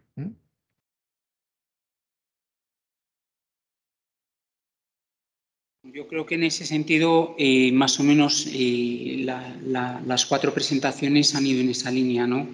Eh, por un lado, visibilizar aquello que, ahora mismo no está visible en el territorio, ¿no? Y yo en ese sentido, por, temas que habéis estado hablando, ¿no? Y el tema de cartografía oficial, OpenStreetMap y demás, yo creo que este es un discurso ya un poco que se queda, que hace unos años a lo mejor parecía que era la cartografía oficial frente a otras cartografías colaborativas, ¿no? Yo creo que ahora mismo eh, tiene que salir una en, apoyo de la otra. Yo creo que Miguel lo ha expuesto bien cuando incluso los propios organismos oficiales ya están tirando de esas cartografías oficial, eh, colaborativas, sobre todo cuando estamos hablando más al nivel de, lo local, ¿no? de, cosas que desde un plan nacional o un plan regional eh, pues se pueden escapar. ¿no? también a veces tenemos la suerte, y yo creo que, o la ventaja, ¿no? y yo creo que lo expuso Rafael, que claro, que contamos con una cartografía oficial muy buena, cosa que no ocurre en otros países. Yo, ahí Mario, Italia creo que cuenta con buena cartografía, pero no es tan de difusión gratuita como en España. Entonces, eh, yo creo que también hablar de este tipo de, proyectos, ¿no? De, proyectos donde queremos mostrar un territorio de, otra manera, eh, claro, partir de una cartografía como la que tenemos nosotros es una gran ventaja. Entonces, eh, bueno, pues hay en casos como Haití, que has, mostrado tú, Rafael, ¿no? O sea, no ya La Palma, La Palma ha tenido cartografía en todo momento y, bueno, y ahora mismo el IGN ya ha sacado hojas actualizadas de, mucha cartografía. O sea que esa labor colaborativa que en, otros desastres como fue Haití, el propio Katrina, ¿no? Ha sido siquiera una cartografía que existía incluso para los propios servicios de emergencia. ¿no? Entonces, bueno, yo ahí la duda que me queda más es, vale, eh, tenemos una cartografía, hay buena predisposición, buena gente animosa y con mucho tiempo libre para poder eh, incrementar esto, e, esta cartografía, esta información. ¿Cómo pasamos de estos proyectos pilotos a globalizar esta información? Es decir, que vuestros proyectos o el que estamos en marcha con territorios activos eh, no se queden en, una memoria de un proyecto de investigación en los que eso que hemos hecho y esa labor que está ahí o, el, propio, el propio esfuerzo que has hecho tú ¿no? en, esa lectura de unas bases de, Open Data, ¿no? que tiene mucho que ver con lo que han estado hablando de OpenStreetMap y demás, ¿no? pero nosotros casi que vamos del mapa al dato y, tú has ido justo del dato al mapa. ¿no? entonces, eh, para que eso no se quede eh, en lo local, en este grupo de amigos que estamos aquí, ¿no? o que nos estamos siguiendo a través de la pantalla, sino para que eso tenga una mayor visibilidad. Eh, no sé si me escucháis. vale, pues yo creo que una de las cuestiones y por lo que os estaba animando a que todo el mundo usara, pues no solo OpenStreetMap, Wikipedia o este tipo de herramientas colaborativas. Por cierto, no se me ha olvidado contar que OpenStreetMap y Wikipedia trabajamos juntos y eh, la conexión entre Wikidata y, OpenStreetMap es eh, eh, trabajamos para que los elementos estén conectados unos con otros. es que toda esta información se colocó en plataformas este, con esta naturaleza abierta volviendo al Open Data que estaba eh, eh, diciendo eh, Guillermo, es que si no lo pierdes. A nosotros nos pasaba cuando estuvimos haciendo en Zaragoza esto del mapeado de, de las, hacíamos el mapeado de las aceras y los pasos peatonales, para ver la movilidad eh, urbana, peatonal urbana, y entonces nos decían, es que claro, eh, unas personas con las que estábamos trabajando, es que esto yo ya lo había hecho, pero claro, ¿dónde se había quedado esa cartografía? Se había quedado la cartografía en un cajón, en un sitio del ayuntamiento, si acaso una ONG que había trabajado su, con ello. Pero si tú lo pones en este tipo de plataformas que ya tienen una eh, estructura, que te dicen cómo van a estar los datos, que tienen unos estándares para que se puedan poner, que luego se pueden extraer también de una manera también con unos estándares, no se pierde, está ahí para todo el mundo. Es como si tú escribes un, artículo en la Wikipedia sobre un conocimiento, ahí se va a quedar. Entonces, el problema que yo veo a, veces, con por ejemplo OpenStreetMap, con lo que hemos trabajado es como luego sacar esos datos y, tener esa información para que tú le puedas dar eh, relevancia dentro de tus proyectos. Pero por lo menos la base la tienes.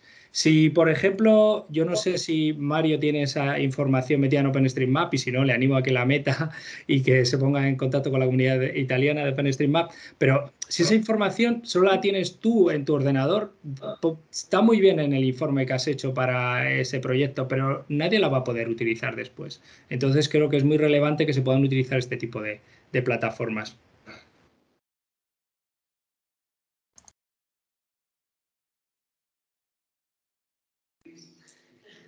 Bueno, a, lo mejor os puedo contar yo un par de experiencias que también eh, nos, eh, nos, han llevado a utilizar eh, el OpenStreetMap, pero en este sentido. Hemos hecho otro trabajo, bueno, ya todavía en, aquel entonces trabajaba en la Politécnica de Milán y, uh, bueno, soportando a un ayuntamiento, curiosamente el de Bérgamo, le hicimos como un levantamiento de toda la actividad económica urbana a nivel de calle. Y claro, tuvimos la oportunidad de, de empezar con una base que era justamente la de OpenStreetMap, la actualizamos, la integramos y bueno, hicimos un doble esfuerzo. El primero fue convertir aquella información, traduciéndola en unos eh, términos, uh, podemos decir, mm, como la norma italiana nos uh, sugería para, la, para sacar un mapa, podemos decir, en términos de leyes, pero luego ya fuimos al OpenStreetMap, aprendiendo a traducir uh, lo que era la norma italiana a eh, el lenguaje de OpenStreetMap. Tuvimos también mucha interacción con la comunidad. Y la cosa buena fue que saliendo de este trabajo hemos tenido la posibilidad de hacer un monitoraje para muchos años, porque los que no, nos han pedido era ah, justamente empezamos con una base de eh, una data X y luego ya lo han actualizado ellos. El ayuntamiento ha tenido, sí, podemos decir, una base que es bastante sólida, porque se la desarrollamos nosotros, pero también hemos interactuado con la comunidad y ha ido esto hacia adelante. Y también eh, hemos contactado con la, uh, podemos llamarla, la Asociación de Comerciantes, que también ha empezado a enriquecer toda esta información, poniendo eh, los días que estaban abiertos, cerrados, los horarios, hasta llegaron a poner durante la COVID quién hacía los repartos a casa o no. Y esto ha sido totalmente eh, relacionado con una comunidad que en este sitio era activa. La estimulamos también pero sí que ha habido muchísima interacción. En otros casos, por ejemplo, no ha habido tanta, hemos hecho una cosa muy parecida en la ciudad de Parma, pero esto se ha quedado un poco ahí, un poco estancado, porque la comunidad tampoco eh, nos ha respondido. Eh, podemos decir, de una, forma impar a lo largo de todo el centro, el casco antiguo. Así que tenemos calles muy actualizadas y otras que no. Y esto puede ser un problema.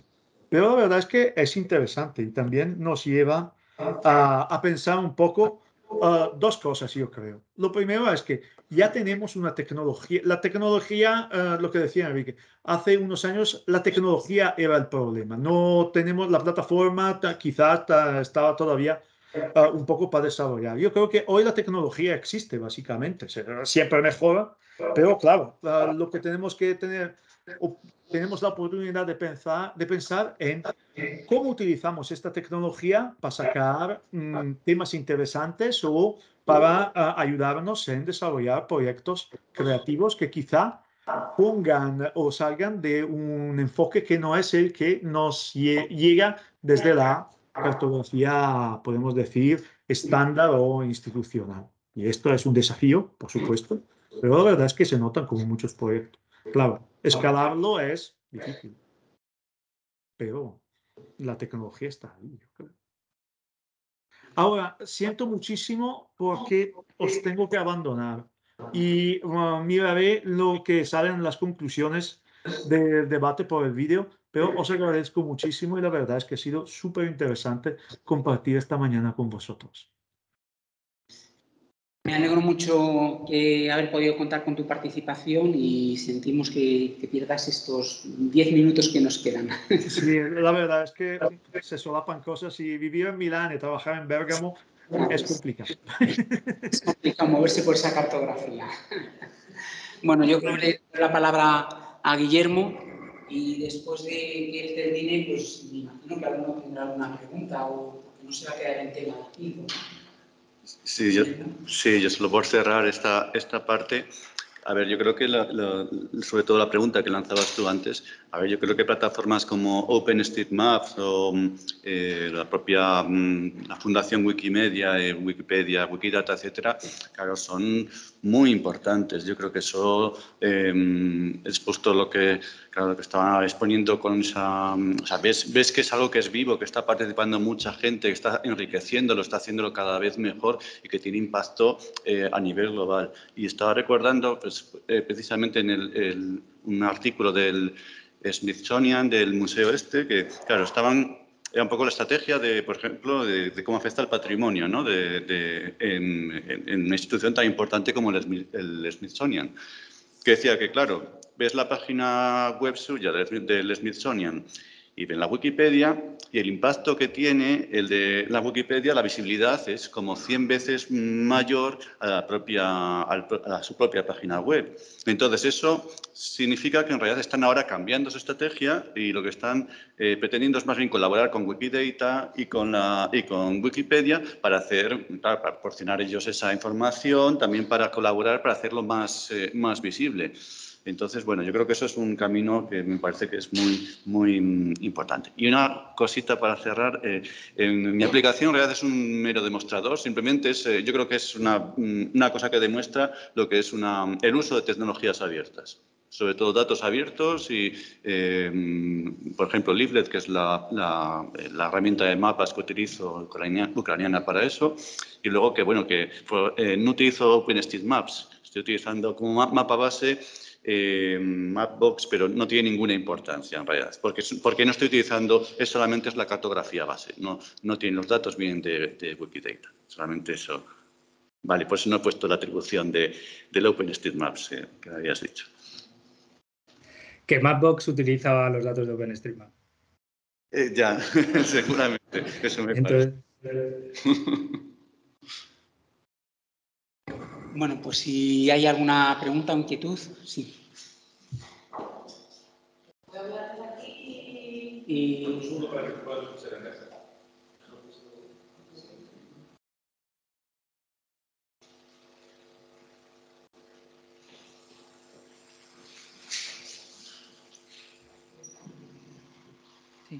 Eh, buenas tardes, soy Teresa Perezcano de la Universidad de Sevilla y mm, eh, digamos, me ha interesado o me está interesando mucho la sesión, pero me ha llamado mucho la atención eh, la, parte de la mesa del compañero de Valladolid, porque eh, concretamente el 30, el 30 de septiembre será la Noche Europea de los Investigadores y por lo menos en nuestra universidad pues se nos invitó a aquellos que participamos en la Noche Europea pues a participar editando eh, eh, monumentos, porque justamente este, todo el mes de septiembre, o sea, Wikipedia tiene una sección que se llama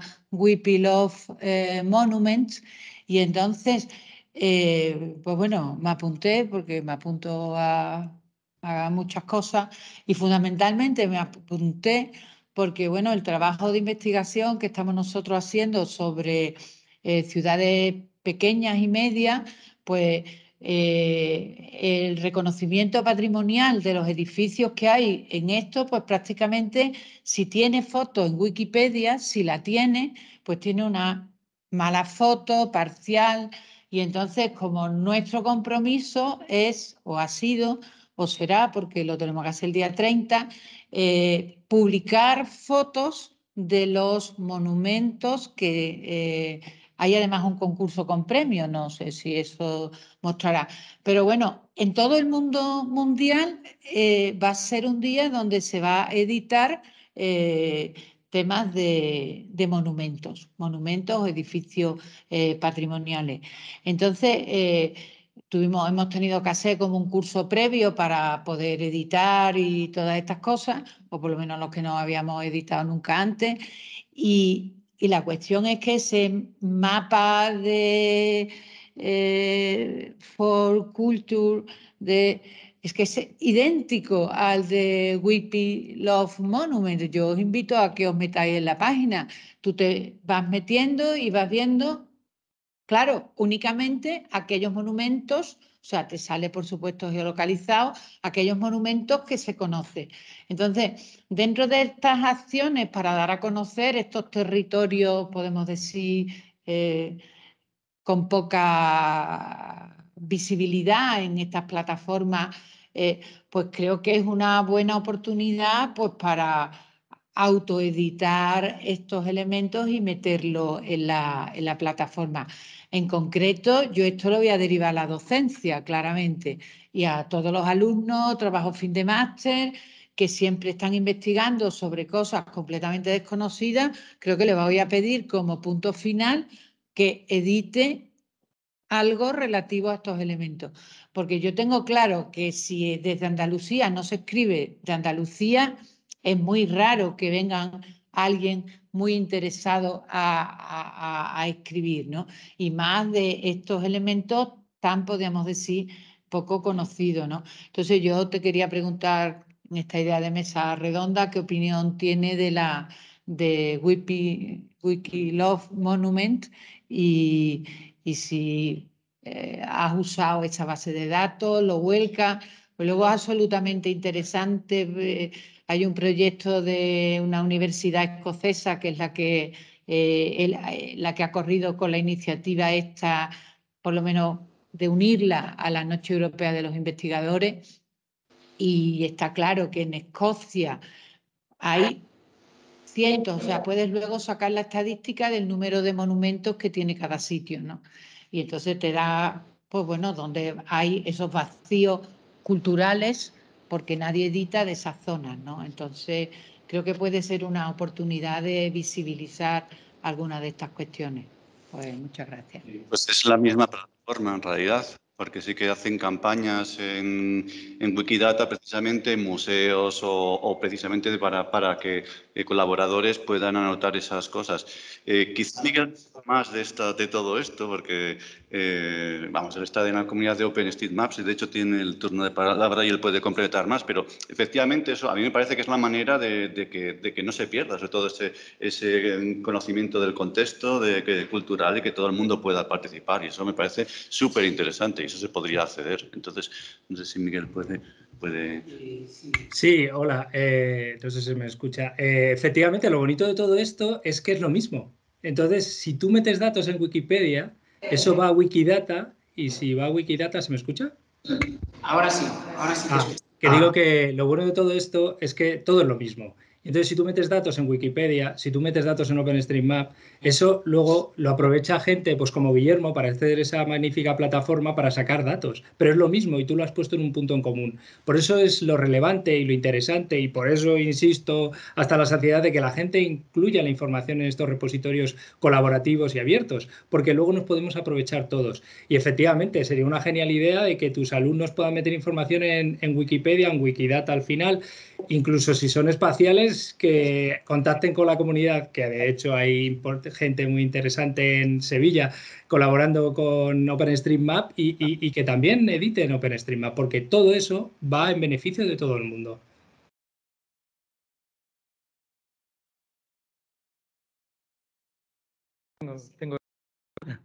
Eh, aparte de daros la enhorabuena, que me ha encantado el enfoque positivo de información positiva al servicio de la gente en los mapas es un tema de máximo interés y yo quería trasladaros un dato. Eh, nosotros dentro de los proyectos de Valle Digital, uno es el gemelo digital del Valle, que lo estamos haciendo con ERRI y tenemos ahí ya la digitalización de la comarca en cierto nivel y también yo creo que también tira de datos de OpenStreetMap. Bueno, eh, lo que quería plantear es que una vez hicimos una, una pequeña consulta a, a la gente del Valle Digital que qué información quería que saliera en el mapa y nos eh, dimos cuenta de una cosa, que la información de los mapas normalmente es para los, más para los visitantes, ¿no? porque la gente que está en el territorio pues más o menos conoce mucho y el mapa ya no le aporta tanto. Pero curiosamente lo que ganó es que la información que querían que saliera en el mapa eran los proyectos vivos que cada pueblo tiene eh, en un momento dado. Eh, porque así sabes lo que está pasando en el pueblo, ¿no? los proyectos vivos o las cosas que están pasando. Y, eso la verdad que es darle pulso al mapa, darle vida, no, no solo datos. Y, yo creo que encaja muy bien con el enfoque que, habéis hecho. Y, la, aportación esta de eh, tirar de datos que se pueden actualizar solos, me viene a la cabeza si las bases de datos de la prensa con respecto a todo lo que se publica de las localidades pudiera ser una fuente, más allá de que también la gente del pueblo pueda contar los proyectos, pero que también una fuente automática para que se vuelque ahí, aunque lo puedas buscar siempre en Google de turno, ¿no? Pero tenerlo en un mapa yo creo que puede estar muy bien. Y esa era la aportación que quería hacer.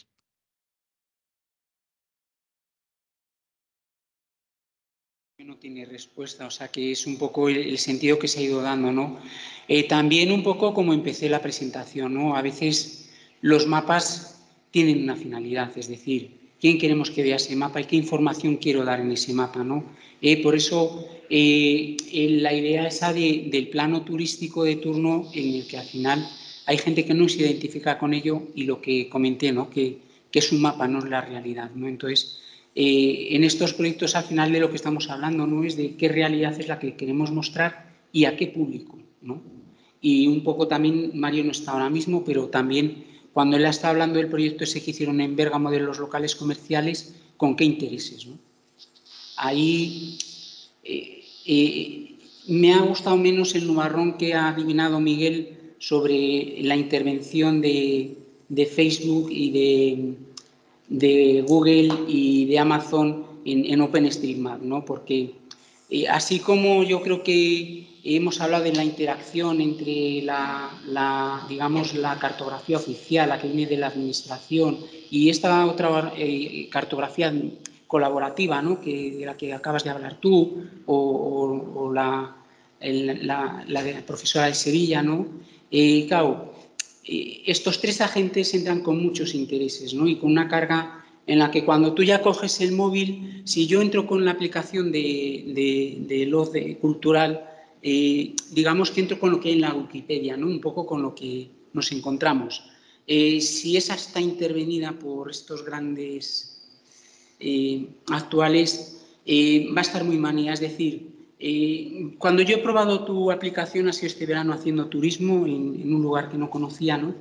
Y era muy diferente a la información que me daba eh, esa aplicación a la que yo conseguía cuando en Google, eh, esta que tiene para visitar los lugares, no me acuerdo cómo se llama, ¿no? ¿Qué hay en este lugar? ¿no? Y te ponían los 10 sitios más destacados. Que normalmente de los 10 sitios más destacados a mí hay 6 que no me interesan para nada. Entonces, no sé, irá gente, me imagino, o a Google le interesará que vaya gente allí. O sea, es decir, y hay intereses económicos y de otro tipo en los que sería otro debate y otra mesa redonda. Miguel. Eh, a ver, que es que estaba escribiendo en el chat a la vez. a ver, eh, pues efectivamente eh, es un nubarrón entre comillas, pero bueno, yo lo que quiero es sacar la parte positiva de todo esto, de que igual que sucede con el software libre, con las plataformas abiertas y colaborativas eh, libres y con este tipo de licencias, a pesar de que meta sus manos Amazon, Microsoft, Facebook e incluso Erri, eh, lo bueno es que tiene una licencia abierta y en cualquier momento podemos hacer un fork, podemos extraer los datos, podemos eh, usarlos libremente. Y por otro lado, eh, dentro de la eh, Fundación OpenStreetMap se está trabajando eh, para que, y de hecho si veis a la wiki se habla bastante sobre ello, que, para controlar y para saber cómo este tipo de grandes personajes a nivel tecnológico están interviniendo dentro de una plataforma como esta. Eh, no pasa, o sea, sucede lo mismo en Wikipedia. A ver no pensáis que Facebook, Amazon, etcétera, no está tocando los artículos de la Wikipedia. Pero eso es muy, por eso es importante tener una organización que sea horizontal, una organización en la que todos tengamos eh, eh, un peso específico y no que llegue Amazon y diga, pues esto se va a hacer así porque yo, yo quiero. Entonces, lo bueno es la parte de que los datos están en abierto. Si ellos colaboran, tienen que colaborar con nuestras reglas, que ellos efectivamente pueden hacer lobby, de hecho ha sucedido y hemos tenido problemas dentro de la comunidad con este, esta serie de gente que hace lo que se dice ediciones eh, eh, programadas, bueno, ya no me acuerdo, eh, guiadas, y, claro, de repente te viene un hindú que está eh, trabajando para Amazon y que quiere hacerse las carreteras de la comarca de vete tú a saber dónde aquí en España y con la ortofoto lo hace de cualquier manera. Bueno, pues claro, hemos tenido ese tipo de problemas, pero a la postre también se le dice, oye, mira, si tú haces esto, lo tienes que hacer de esta manera. Por ejemplo, no puedes utilizar la, fotografía que te da eh, por defecto OpenStreetMap en India, que va a ser una que no está bien ortorrectificada. Tienes que utilizar la fotografía de la ortofoto del IGN que es la que nosotros estamos utilizando y la que tiene mayor, es un ejemplo, ¿no? Pero bueno, que veamos también la, parte positiva de que esta gente, si se está implicando, es porque el proyecto además tiene éxito y está funcionando. Tenemos, eh, estamos eh, viendo que, que, pues no termina acaparándolo, pero ya os digo, es difícil que termine acaparando un proyecto que es abierto, horizontal y sobre todo que los datos están libres. Pues eh, Elena, que está vía online, ¿no? Que Vale. Hola, ¿me oyes? Sí, te oímos. ¿Me oís? por la calle? Eh, nada, yo quería preguntaros si esta herramienta se podría utilizar también como a nivel preventivo, ¿no? Yo lo digo porque ahora estoy en una asociación es por la defensa del Valle está bueno, un poco amenazada por el tema de las plantas fotovoltaicas y eólicas que se van a desarrollar o se quieren desarrollar y no están, ¿no? O sea, son solo proyectos, pero, pero ayudaría muchísimo tener una herramienta como esta para visibilizar la ocupación que supondría para un territorio de hacerse realidad esos proyectos y que de esa manera ayudara a las administraciones a hacer una organización y una territorio que convivan la tecnología estás con, con el sector primario y otros, y con la biodiversidad y otros. Entonces, bueno, no sé si a nivel preventivo también es una herramienta que puede ser útil. Eh, un poco, vamos, respondiendo desde mi punto de vista, por supuesto, yo creo que, eh, vamos a ver, está eh, el mapeado colaborativo pues ayuda fundamentalmente a eso, lo hemos dicho varias veces, a hacer visible lo que no es visible y muchas veces no es visible pues las cosas eh, que están ocurriendo en el territorio y sus propias dimensiones, ¿no? La acumulación, en este caso a lo mejor de, plantas fotovoltaicas en un sitio determinado, eh, eh, esa información es difícilmente actualizable de manera en corto espacio de tiempo por parte de la cartografía oficial. Y, de nuevo la cartografía colaborativa frente a un problema local eh, es capaz de tener un poco más de agilidad porque al fin y al cabo está construida entre todos y todas. Y eso nos permite mm, bueno pues dar una, una, una respuesta mucho más inmediata ¿no?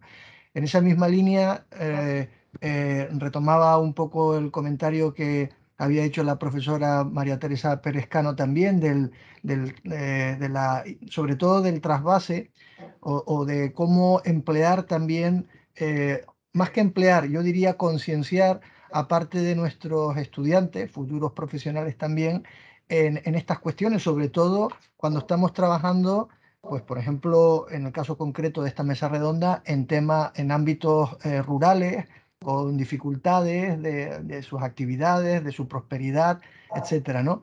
Yo creo que todo ese espíritu también eh, mm, yo, intento contagiar a mis, estudiantes para que no solamente sean capaces de proponer brillantes soluciones, de, posibles alternativas eh, para dinamizar el espacio rural, sino que también ya, ya directamente, de manera inmediata, sean capaces de transmitir algo de visibilidad de esos lugares. Por ejemplo, nosotros, sirva como ejemplo, eh, la asignatura esta la desarrollamos en dos semestres, hay un primer semestre que fundamentalmente se centra en el análisis de, la, de los prácticamente ocho municipios que están en, en torno al río Mijares, en Castellón, y, y la, una de las, de, los, eh, de las entregas o una de las, de los eh, resultados que tienen que ofrecer los alumnos es precisamente la incorporación de parte de esa información que se ha ido